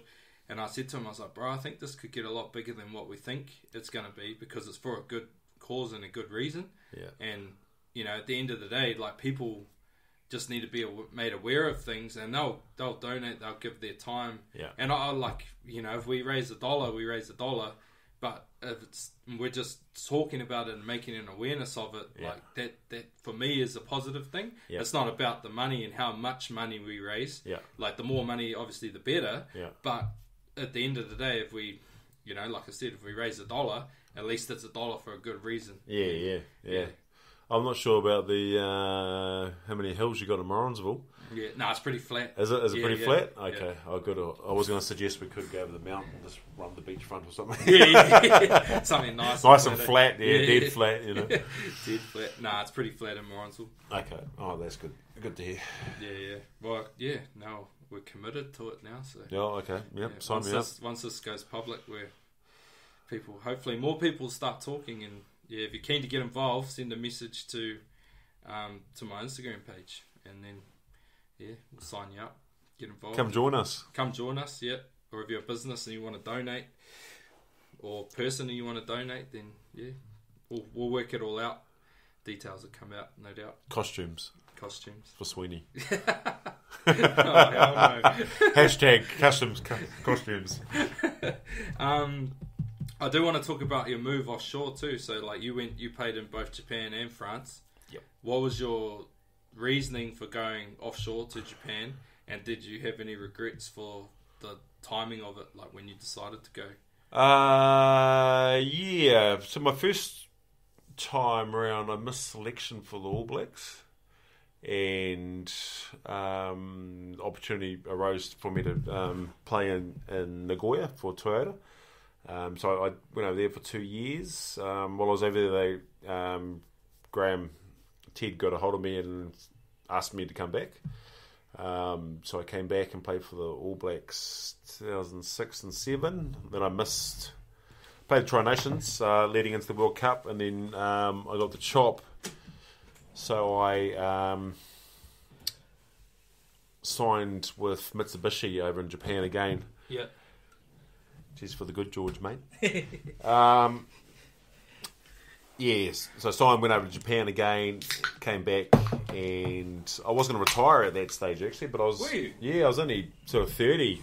Yeah. By that- Thirty was old back then, though. yeah, Hey, yeah, it sort of was. Like thirty was the sort of age where you start thinking about retirement. Obviously, that's shifted to sort of thirty-five these days. But you know, um, at the time, I sort of had enough of rugby and just getting a little bit frustrated with rugby, and you know, going to training, I wasn't really feeling. it. I was sort of lost that spark and didn't really have a hunger for it. I came back to New Zealand for about six months uh, with the family, and um, I was approached to you know, I, I was thinking, you know, I was trying to find a new career, etc., etc., and um, I got a, approached by a couple of clubs in France. So I um, had the choice of going to Paris or playing for Bayonne in the south of France, and um, I was very happy that I signed with Bayonne. Um, not so much for the rugby, but the the lifestyle in the, in the south of France. I was I lived right on the beach Yeah. live right on the beach down there. I'd surf on my back doorstep, and you know, um, yeah, real, had a, had an amazing time. Yeah, Yeah. How did you find the difference in the cultures from like France to Japan, or to here as well? Like oh a lot of similarities and no, three ways? completely different Yeah. countries. Yeah, yeah, com- it's different. I don't know the word to ex- describe it. They're so different, you know. Yeah. They're so different. Like you got New, New Zealand, who- you know, we're very humble type um, nation, and then we got Japan, and the, the people are beautiful, as you know. Um, the food's amazing, but the lifestyle, you know, I, I didn't really sort of adapt to the um, the concrete jungle. You know, I was living in Tokyo the last time round, and, and, and Nagoya for that matter. It was just a very very much a concrete jungle. You know, I'm born and bred in New Zealand. You know, I, lo- I love the ocean, love the hills and mountains and the green. I, lo- I love green. You know, um, uh, and you, you don't get that in Japan, not really, unless you go in the sort of, o- outside of the main cities. Yeah. Um, Well, like Japan too. Like I found Japanese society really difficult in terms of how they don't fight for things. If that makes sense. Like you would have noticed that with uh, like I I didn't re- I couldn't work it out to start with when I was playing. Like these Japanese boys that I was playing with would be like awesome one week, and then the next week they would just like not even try, and I'm just like what? And it took ages to, for me, you know, a couple of seasons to get to know them a little bit better and get to know the language better and understand the culture. And it was because they were playing their like senpais, their elders Yeah. from their high school or from their university, so they would purposely yeah. not show them up. And Yeah. I was just, I, was, I, it blew my mind. But you, when you see the way society is wired over there, Yeah. like you get a job and that's your job till you retire, and the older you get, the more you get paid. And it doesn't matter what role you have, you're always a natural progression, and the older you get, the more money you make. So they don't learn to fight for things. It's like they get a foot in the door. They, I guess they probably fight for the foot in the door, but once it's in there, they're like, oh, mm. I'm here. Mm. Like, and mm. now I'm set for the rest of my life. As long as I don't commit a major felony, then I'm sorted. I'm not sure if you know this, but Japan's got one of the biggest suicide rates in the world. Yeah. Um, for know that, for that for that very point, Yeah. the very fact that you just brought up, like when they get a job, if they lose that job, oh, you know, the world has just ended for them. You know, and they'll never get re-employed uh, from another employer. Yeah, yeah, like they, no one will touch them. Yeah. Yeah, because there's a reason why you've just been fired. Yeah.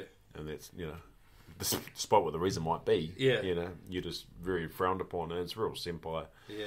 type mentality. Well, you Um, see it too, eh? Like even with the foreigners um, playing over there, there's no player movement like between teams like you see here. Like Mm. you apply, you'll sign and go to a team, but you're not getting much game time. So you're like, all right, like I, I want to push to play more. I want to go somewhere else. Yeah, It's like no, you play for um, Yeah. Kyuden or Sanix very or. Mitsubishi. Yeah. Like no, you can't come here. Yeah. Like what? very submissive, um, extremely introverted um, society, isn't it? Yeah. You know, no nobody likes to put their hand up or, or stand out or Hmm. um, but but that works. You know, that that Yeah. works for them. That, that's just that's just them. You know, and um, things like lining up. Very patient people, aren't they? Yeah, yeah, you know, you go somewhere in the weekend, like, there's a line like 300 meters long, and I don't know about you, but man, I'm like, I get itchy toes. Yeah.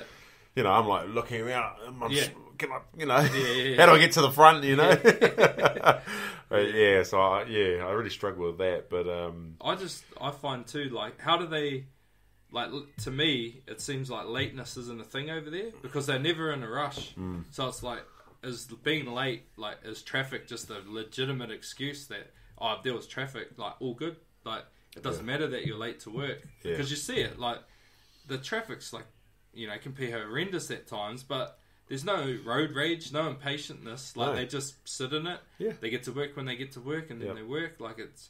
But in New Zealand, if you were late because of traffic, like you'll lose your job. Yeah, yeah. They'll be like, "Where were you?" Like, right. and it was like, "Mate, traffic was jammed." Like I was, well, not my fault.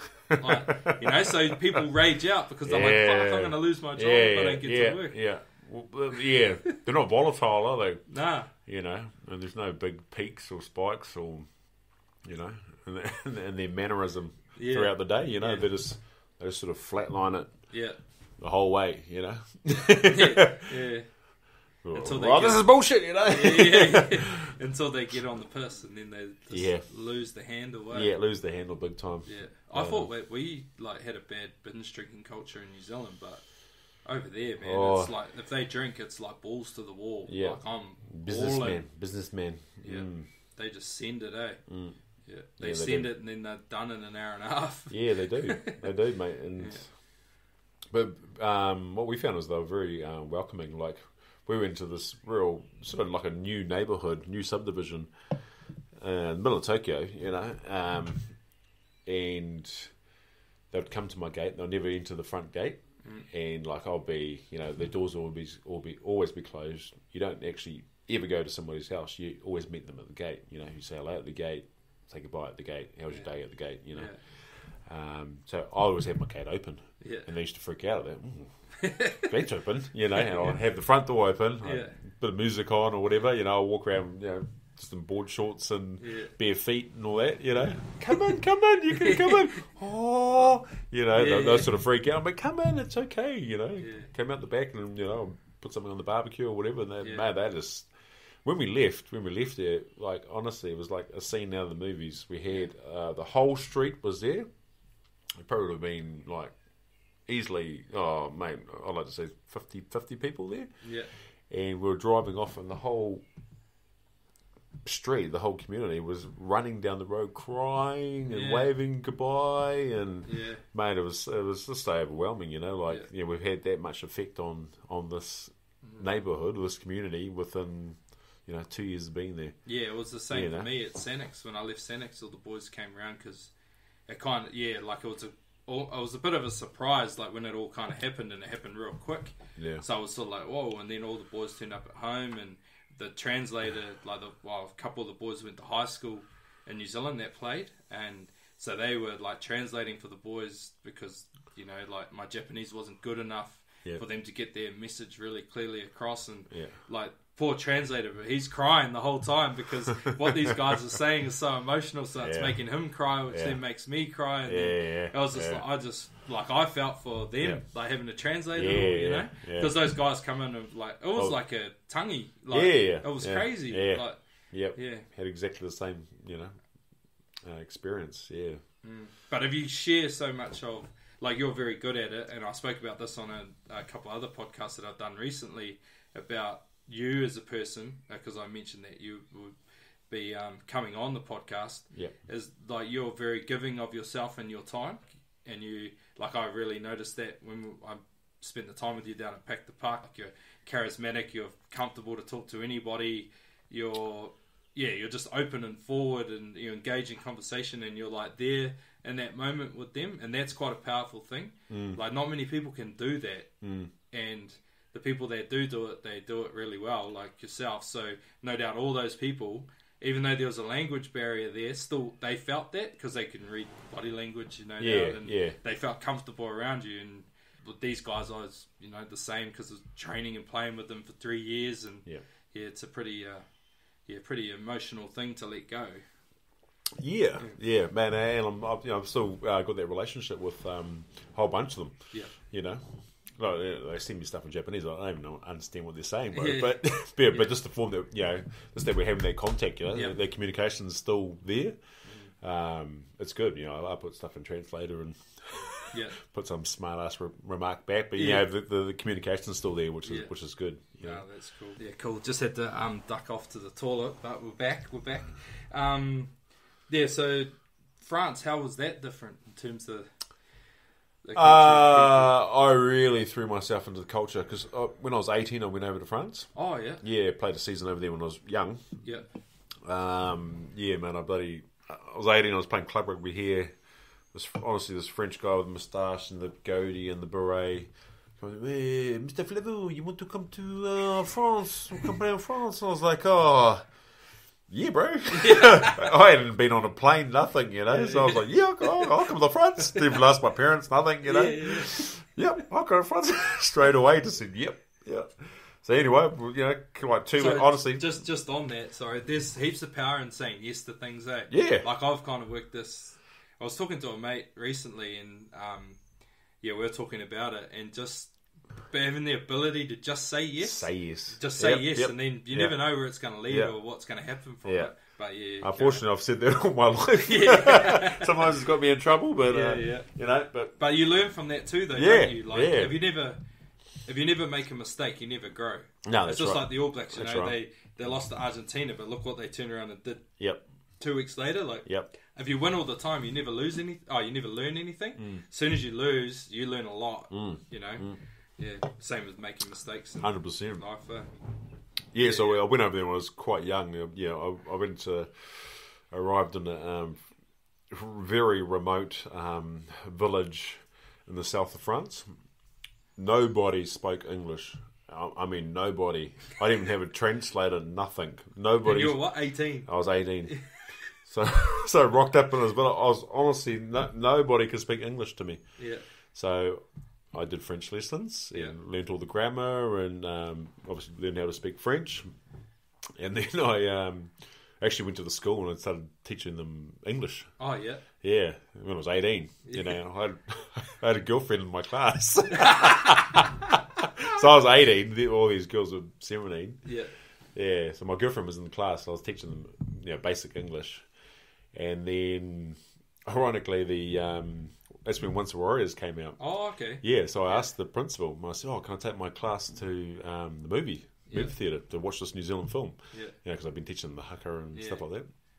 Took my whole class to the the film, and because I had a few tattoos, um, they, they, they, they started looking at me differently. Oh, after, after watching the movie, like honestly, it scared the shit out of them. Yeah. It scared the shit out of them. They looked at me. They kept looking back at me, like you know. they- I could see them, feel them looking at my tattoos and stuff like that. They're like, "Oh, you know, he's dangerous. He's dangerous. Yeah, toi tu dangereux. Yeah.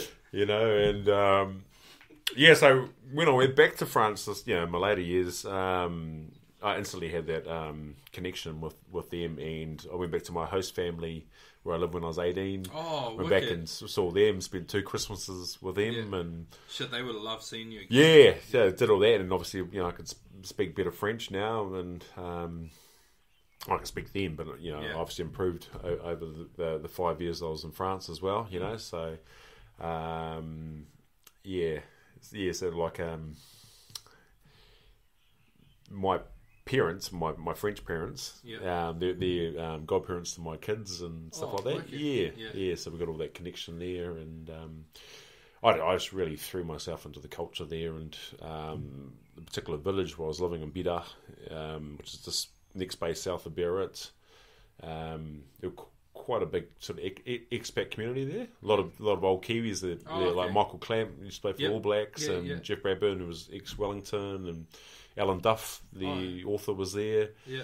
Um, so there's quite a good little community there. Um, so we used to get together quite often, especially for you know, you know Christmas and New Year's and that kind of stuff. And um, yeah, we just had a really good time. Our kids were obviously educated in France, and They speak French. yeah, they're all French speaking. Um, so when we returned to New Zealand after five years, we uh, kept the French thing going. Yep. Uh, so, so- they just did lessons and stuff, or No, we actually went to a Oh, yeah. bilingual school. Oh, wicked. yeah, so uh, it was a bilingual school in Auckland where our kids were doing three days in French and two days in English. Yeah. Yeah, so we kept that going for three, four years. Yep. Um, They'll never lose that now, will they? Well, we hope Well, not. We hope- yeah. not. Yeah, I think it's it's sort of embedded in them now. You Yeah. know, um, they would say true uh, bing, bing, bilingualism Mm. is um, it's it's when you can start when you start dreaming in a diff- different language. you know. Oh, okay. Yeah. Am Do you do that? Like, no, no, I don't. Because in my head, I always translate. You know, Yeah. if I want to say something in French, I, I translate English Oh, yeah. in my head. You In your head and yeah, then spit it out, Then I yeah. spit it out in French. Yeah. That's the way my brain works. But Yeah. for my oldest daughter, India, like she she thinks in French. Yeah. and speaks in French. You, Oh, you, yeah. you know, Yeah. and, and she dreams in French as well. So it's um, yeah, she's definitely got it. And my youngest one, um, like she's done six six years of schooling in in French. You know, so Yeah. it's there. Yeah. You know, she's too shy to speak it around Yeah. you know Kiwis Kiwis, but um, yeah, I'm, I'm sure it's there if she wants it. Yeah.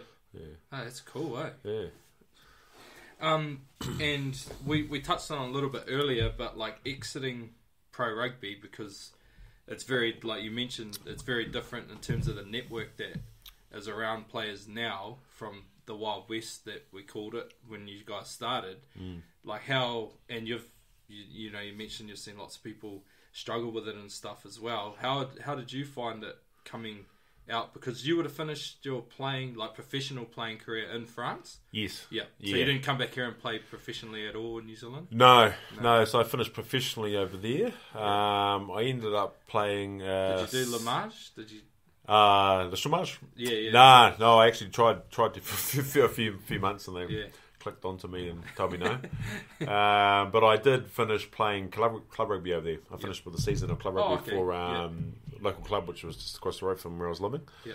in France. And um, yeah, took them to championship after 25 years, and we won it.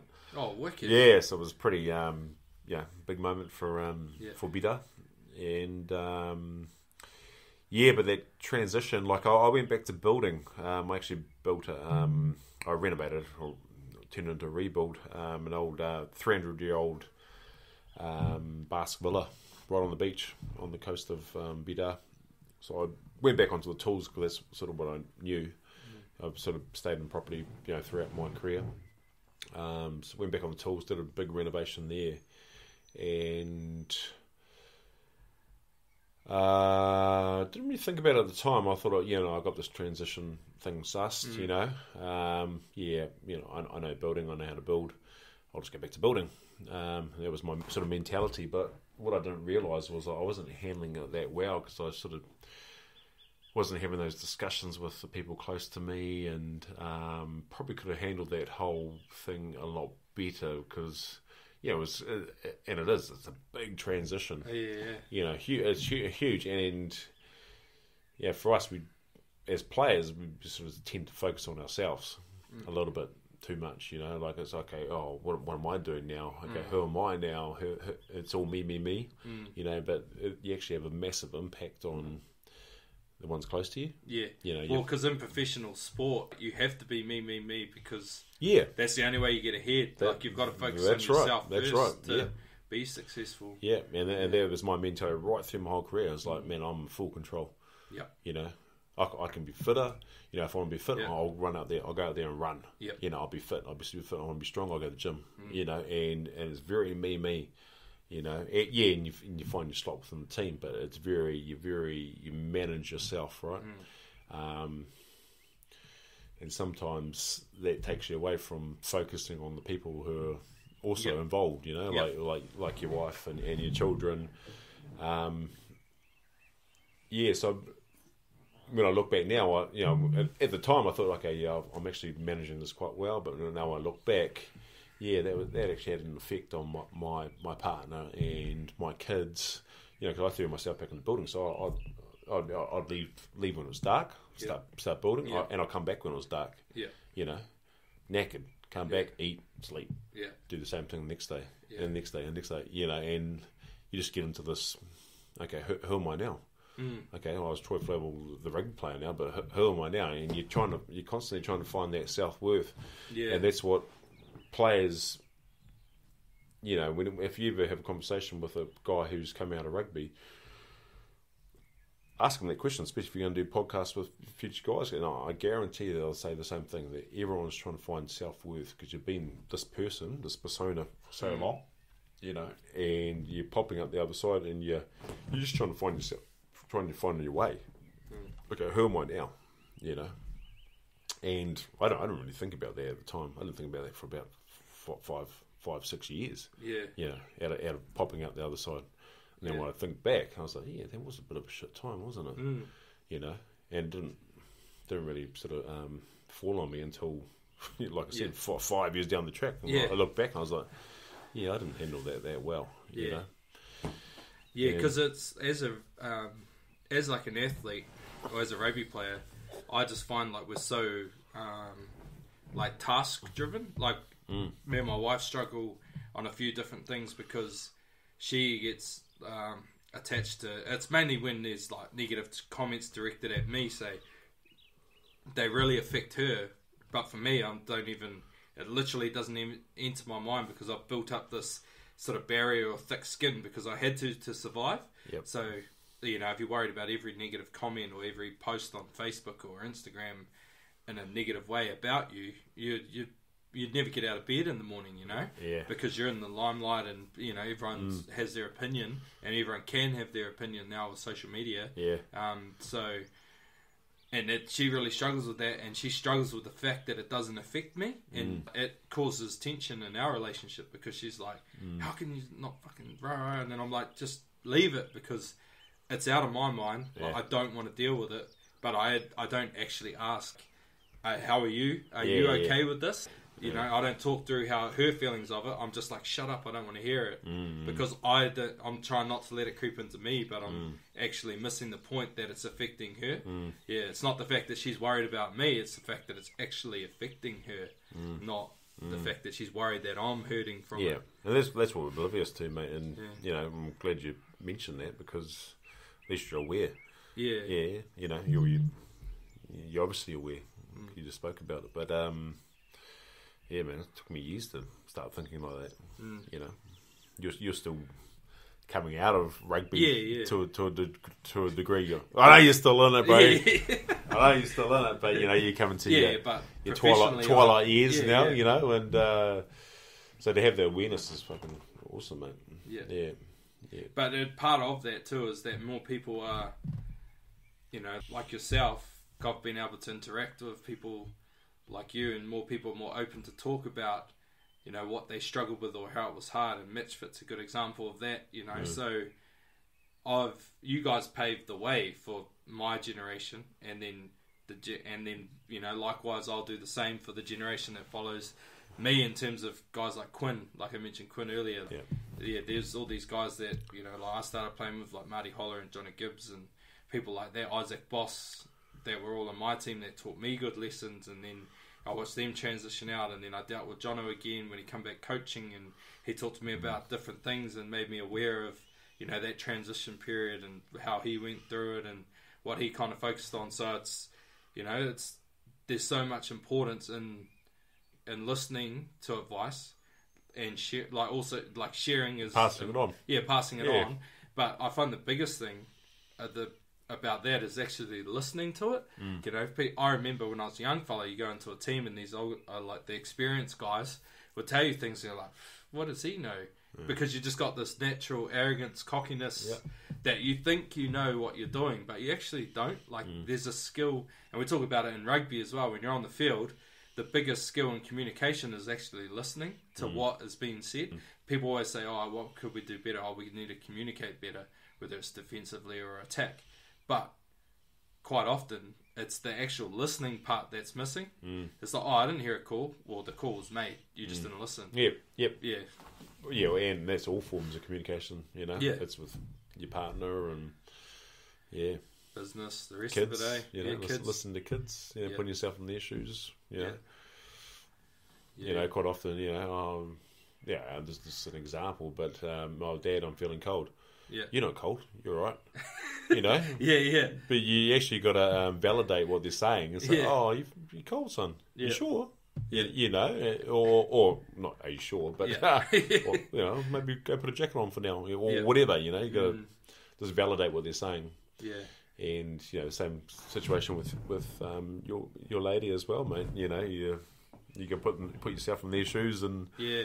think of it from their their side of the bridge. You know, Yeah, Mm. yeah, yeah, and it's pretty well because we we've effectively been wired that way to survive in our environment. Mm. To like a large part of well, you know, pretty much when you're in there, like the you're constantly getting feedback and pressure from coaches or teammates or Mm. senior players in terms of what you need to do better mm. and what not to focus on and what to. So you're just like, okay, I need to go do this task. If it goes poorly, in rugby we're trained to bin it, you mm. know, mm. but it's like you train to bin it and move on. You try and learn from it, but there's still that element of forgetting it, like as well, because you're like, I can't let it creep into my next yeah, yeah, action. yeah. So it's like it's yeah, it's quite Yeah. easy to get into a bit of a We've, state we've got the ability to do, shit, do that with shit. yeah, and that's get crosses over into real life, right? Yeah. Yeah, real life situations where you have something. Yeah, I don't want to hear that, or Yeah. or it's something negative. Mm. But generally, it's when, when it's something negative, you, when it's something mm. negative, you go ah, piss off, you know? Yeah. Yeah, no, I don't, I don't want to deal with that. Mm. You know, with that, I'm just going to focus on the good. You know, I'll focus on the stuff that makes me happy.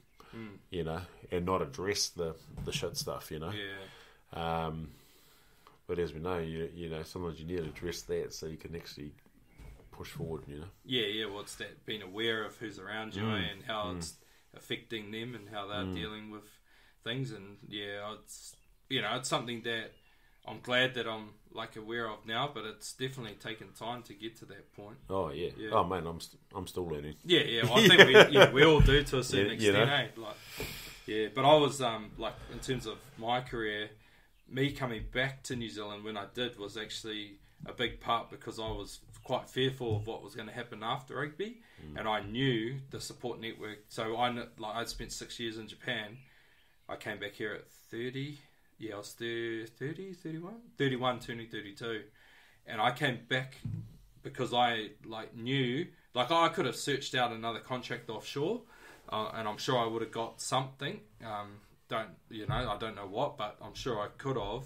But I was like, I had like two goals. One of them was to make sure that I was in a good position for when I retired, because I knew that you know that was getting closer because I was 31. Mm. But the other thing, like, I wanted to be a centurion for Waikato, so that was a big driver for me. I want to go home, want to become a centurion. I'm not too focused on the money side of it. I'm happy with what I've done financially with my six years in Japan, and now I had a goal when I went there, and I achieved that goal financially. So I'm like, okay, don't get greedy. Now it's about making sure the transition out the other side is going to be better. So I knew that I was going to come home and get paid peanuts, um, but I was just like, I knew also the power of the network of New Zealand Rugby, and Yeah. I knew the Players Association and how good they are now at what they do.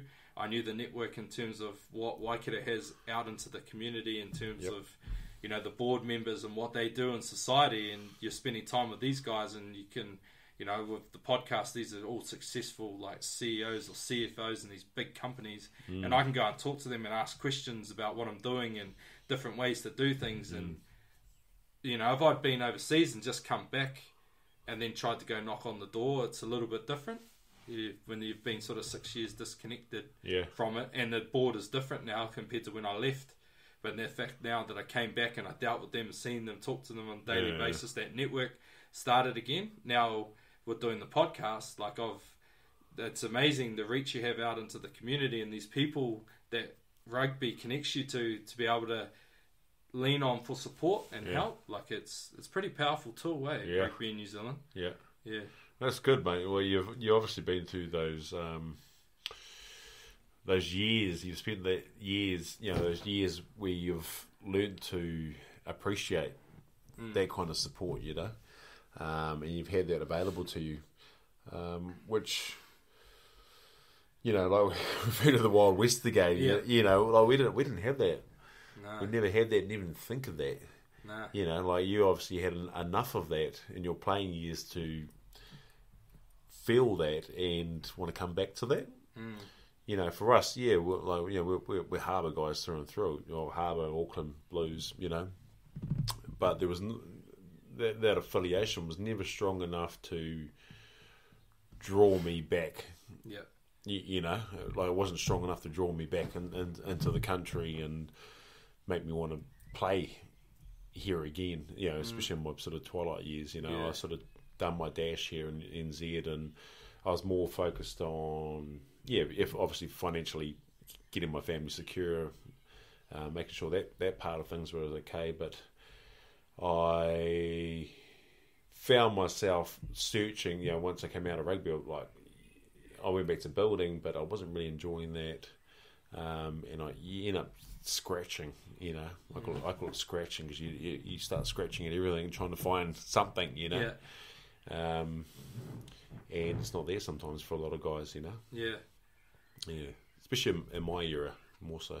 Yeah, yeah, well, definitely. Like I I got that from talking to the guys that packed the Park.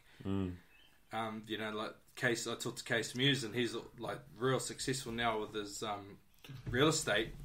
What he's doing down there in Dunedin, but he was like, bro, I didn't know what the hell I was going to do when I finished. But there's also a side of that. Your and I look at it right through. I suppose your era, like there's a lot of very successful people that have come out the other side, but you always see the successful. You don't see Yeah. the people that struggle because they Yeah. hide it because that's human nature. You don't Yeah. want to be seen as a failure or failing at whatever you're doing. So you see all the successes and you're like, oh man, these guys are doing awesome. But there's there'll be a big portion of people that aren't. Yeah, Yeah, but then also the ones that are successful, no doubt they are successful because they are just they have that. The reason they're successful as rugby is because they have that they're wired a certain way that they they find what they want to do, they commit to it, and they work through it, and they get knocked down, but they'll get back up. Yep. Like, and I think rugby teaches you that. Yep. Like, and the ones that stay in the game for long, long time. perseverance. Yep. Yeah, resilience. Yeah, Yeah. disciplined. Yeah. Um, just that drive. Yeah, you Yep. got that, that drive to succeed. You know. Yeah, and you look at that group that played Pack the Park. I listed the names. Um, Yeah. they're, they're like all you know, all black greats, and you don't get to there without having that in you. So Yeah. the fact that they're successful now outside of rugby Mm. is not really a. It's for me, it's not really a surprise because I know what it takes from being on the inside. Like I never got to that point, but Mm. my teammates did and friends did around me, and I seen what they went through to get to that. And when you start to get to that that pinnacle, like that real pointy end of it, everything is a lot more highlighted. Yeah. Yeah, and then what you have to push through to get to that last little climb to get to the top. Yeah, the two percent. Yeah, Yeah, that little two percent. Then mm. you're like, okay, like now I get why these guys are who they are. Like, yeah. yeah, like you can see why Dan Carter's Dan Carter. Yep. Yeah, Richie Yeah. McCaw, Sam Cane. You know all these. Kieran Yeah. Read. And, and, level. and yeah, phew, don't put me on that list. Um, but oh, sorry. I'm just getting another beer. Oh yeah. Carry on. Oh, good George. Good George. um, yeah, you're right, mate. You're right. Yeah. So lost my train of thought there. That cold, cold, good George Beard has bloody took over me. Just jumped out.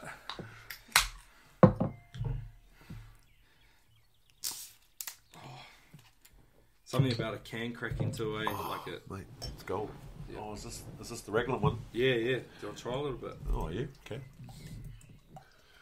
Better, better give it a whirl. Yeah I can make a few comments this Yeah. evening. yeah yeah. You can. Yeah, good George. ooh, Yeah. tasting notes. Um, Yes, Dylan, I got a few words to say to you, mate. Uh, yeah yeah. Talk to the head brewer. there you go. If you like it, I'll fill it up. Thank you. It's gold. Good eh? So good. I love George. it eh? Yeah, Man, it's my- really good. yeah. Show me, show me the label.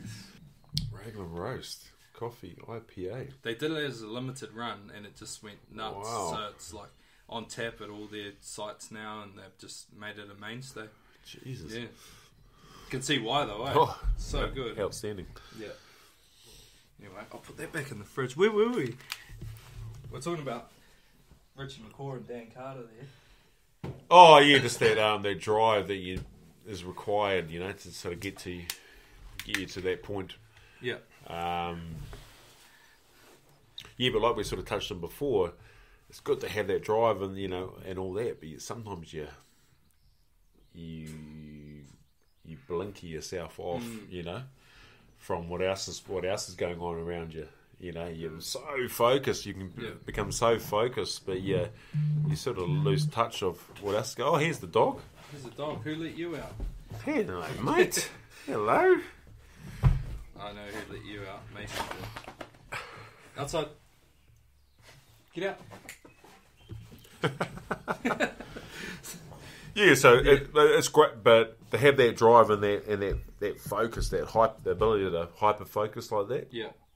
On what's required on a particular task and become very task driven is um, very good. Um, and obviously in rugby, but um, on whatever chosen career you want to, Yeah. you know, path you want to take as well. Well, yeah, you look at Richard McCaw is probably a perfect example of that, eh? Because right through his career, like he was single, you know. Well, from the outside looking in, he was Yeah. single because to stay at that level that he did for so long, and under that microscope, he obviously had to fully blinker himself and just. You know, he's a bit of an, an introvert, really. Like, he had no social media presence whatsoever. He literally, all you saw of him was when he spoke to the media, yeah, after a game or after training or whatever, and then what he did on Saturdays. Like Yep. that was all you seen. Yeah. Like yeah, and that must be how he survived it. Really, Mm. to stay at that level was just like fully lock himself in into that zone. Like this is what I want to do. This is how I'm going to Yep. do it, and yep, just commit to it. But no doubt, a lot of stuff. Like people, I heard it uh, saying the other day actually, like talking about like sacrifice. So like you make these sacrifices. Oh, it was Eric Murray actually. He was on a podcast I listened to, The Rower, and he talked about you know like people say, oh, you know, like rugby, you miss weddings because you got a Super Rugby preseason camp or training or a game, or and you miss these birthdays because you're traveling and the rest of it. He and he was the same with rowing. He's like, that's not a sacrifice because you've chosen that you want to be an All Black or you want to be, you know, rowing at the World Champs. Mm. Like you've made that decision. Your sacrifice was right at the very start when you decided that was what you want to do, and you didn't want to be a builder or a lawyer. That's a sacrifice you made. Yep. Now everything you do there is what do you call it? He said it's like paying. Well, was basically like paying the toll for, or paying the performance toll.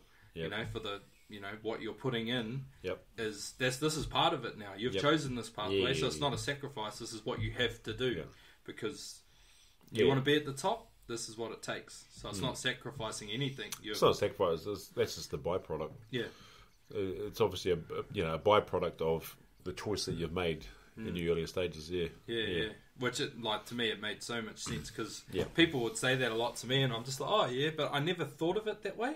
Mm. I'm like, oh, I don't think of it as a sacrifice. Like everyone's like, oh man, you sacrifice so much and this and that, and I'm like. Is it really a sacrifice? Because I don't feel that way because I love what I'm doing and this is what I want to Yeah. do.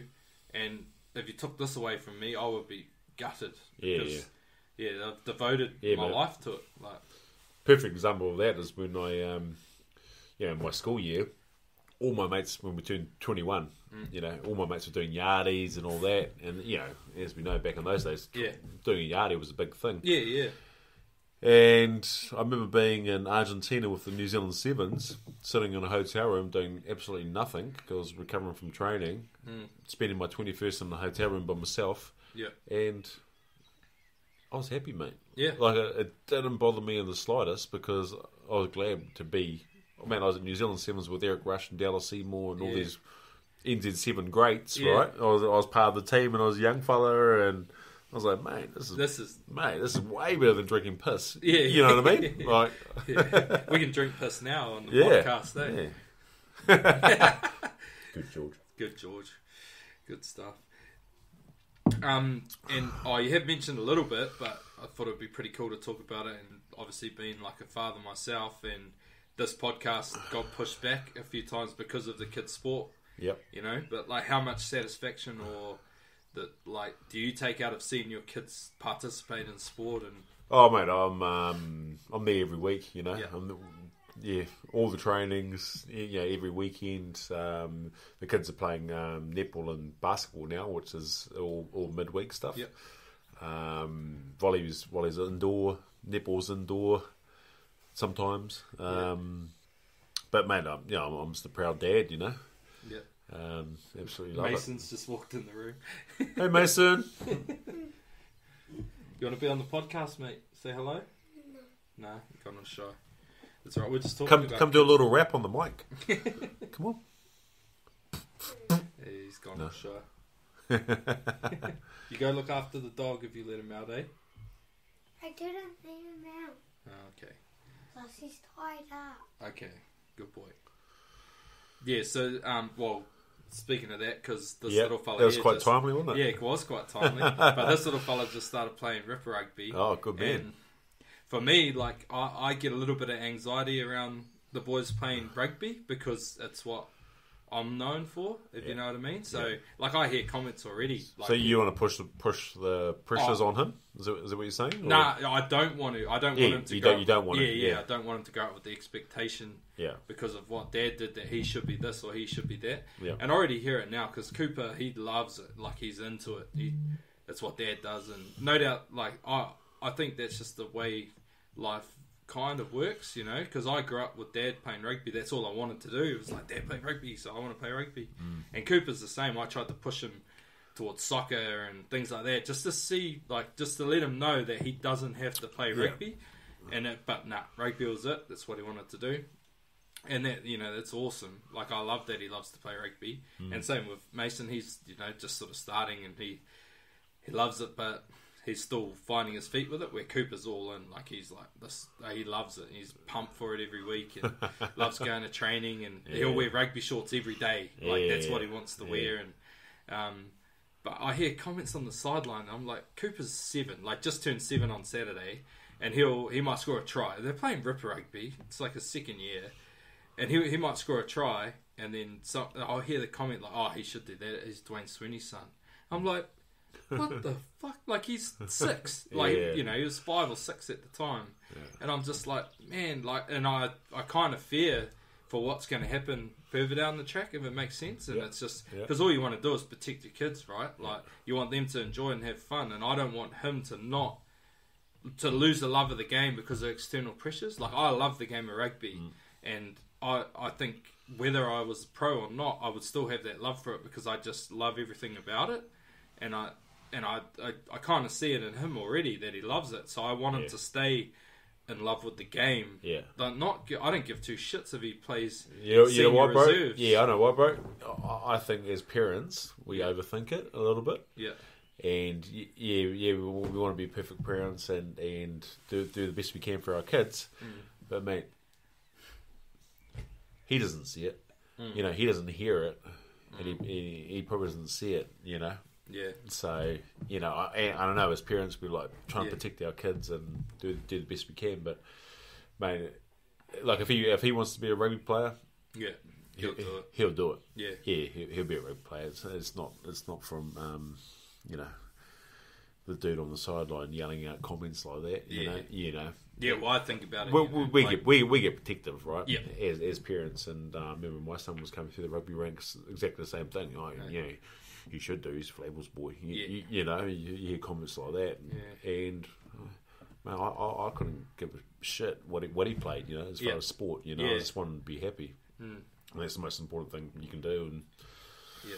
you know, I think as a parent anyway. Yeah, yeah, definitely. Because yeah, you see it so often now. But and I wonder whether I th- I thought about this because I worked in community rugby with Waikato, and it there's a lot a big push now around participation and in sport and everything, and trying to mm. get numbers back in sport and the rest of it. Mainly in rugby, trying to get kids back into rugby because. But for me, it's just there's more options now. Like when I grew up as a kid, I didn't know there was anything else apart from rugby or soccer in the winter.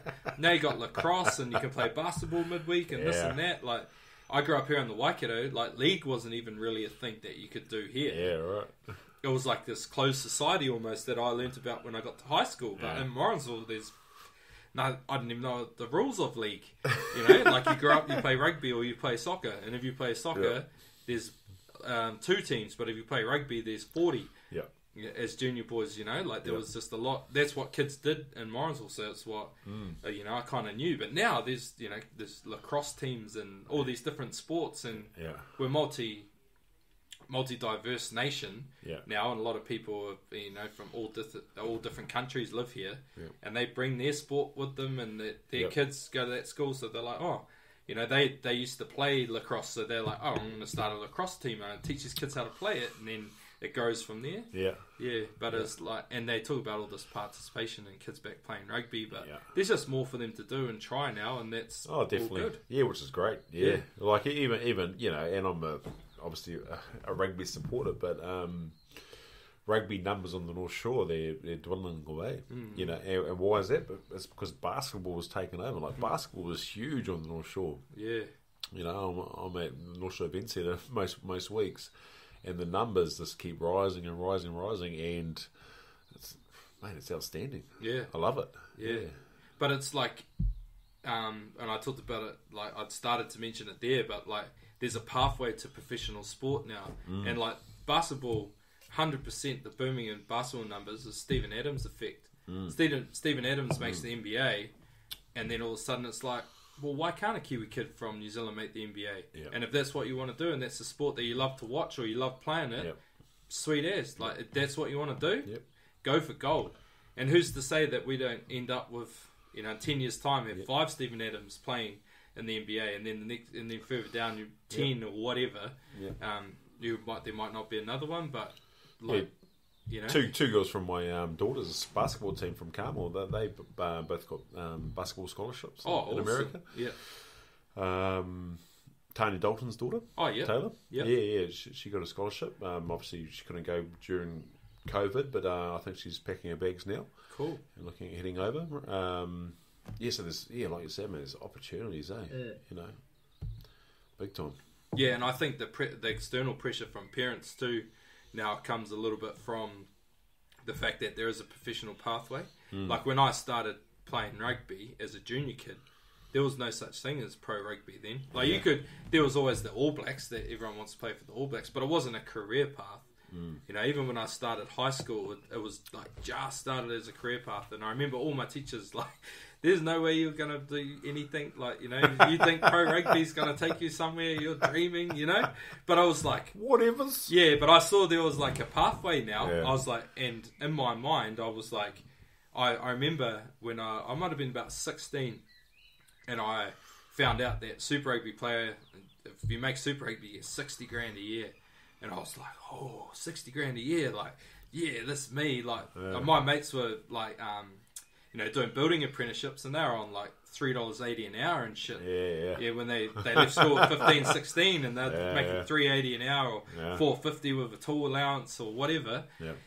And I was working at Countdown and making, oh, I think I was making $4.70 for packing freezers, you know? Like, and I was like, 60 grand, like, shit, yeah, like, here we go. And I remember I, I found it out. baby. Yeah. I was like, I'm going for a run. and I remember telling my mum, I said, if I make Super Rugby, I'm going to buy you a spa pool. Like, that was, and I did it, you know? Like, I, I Yeah. made the Chiefs in Yeah. 2007. And I remember we went to the home show here in Hamilton. Yeah. And I walked over to the site and I, I bought a sparkle and I got it sent to, to mum's house. Is that right? eh? Yeah, yeah. I, I said it at 16, you know, and Yeah. then whatever, it must have been about five. That's amazing you years. had that career path available to you. Yeah, I know. Like, like, Yeah. When, I, when, I, when, when I was growing up, that wasn't even an option, you know. Nah.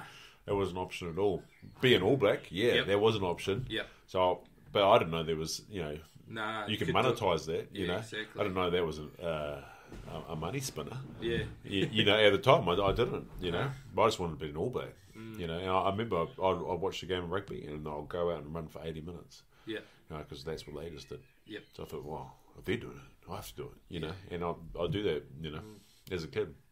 Yeah, it's amazing, eh? Because like, I remember when I went to the, so I had this dream of like I want to be a professional rugby player. I saw, you know, I suppose I went through high school years of understanding that it could be a pathway, and then I worked hard for it, and then got my chance to play for Waikato when I was seventeen.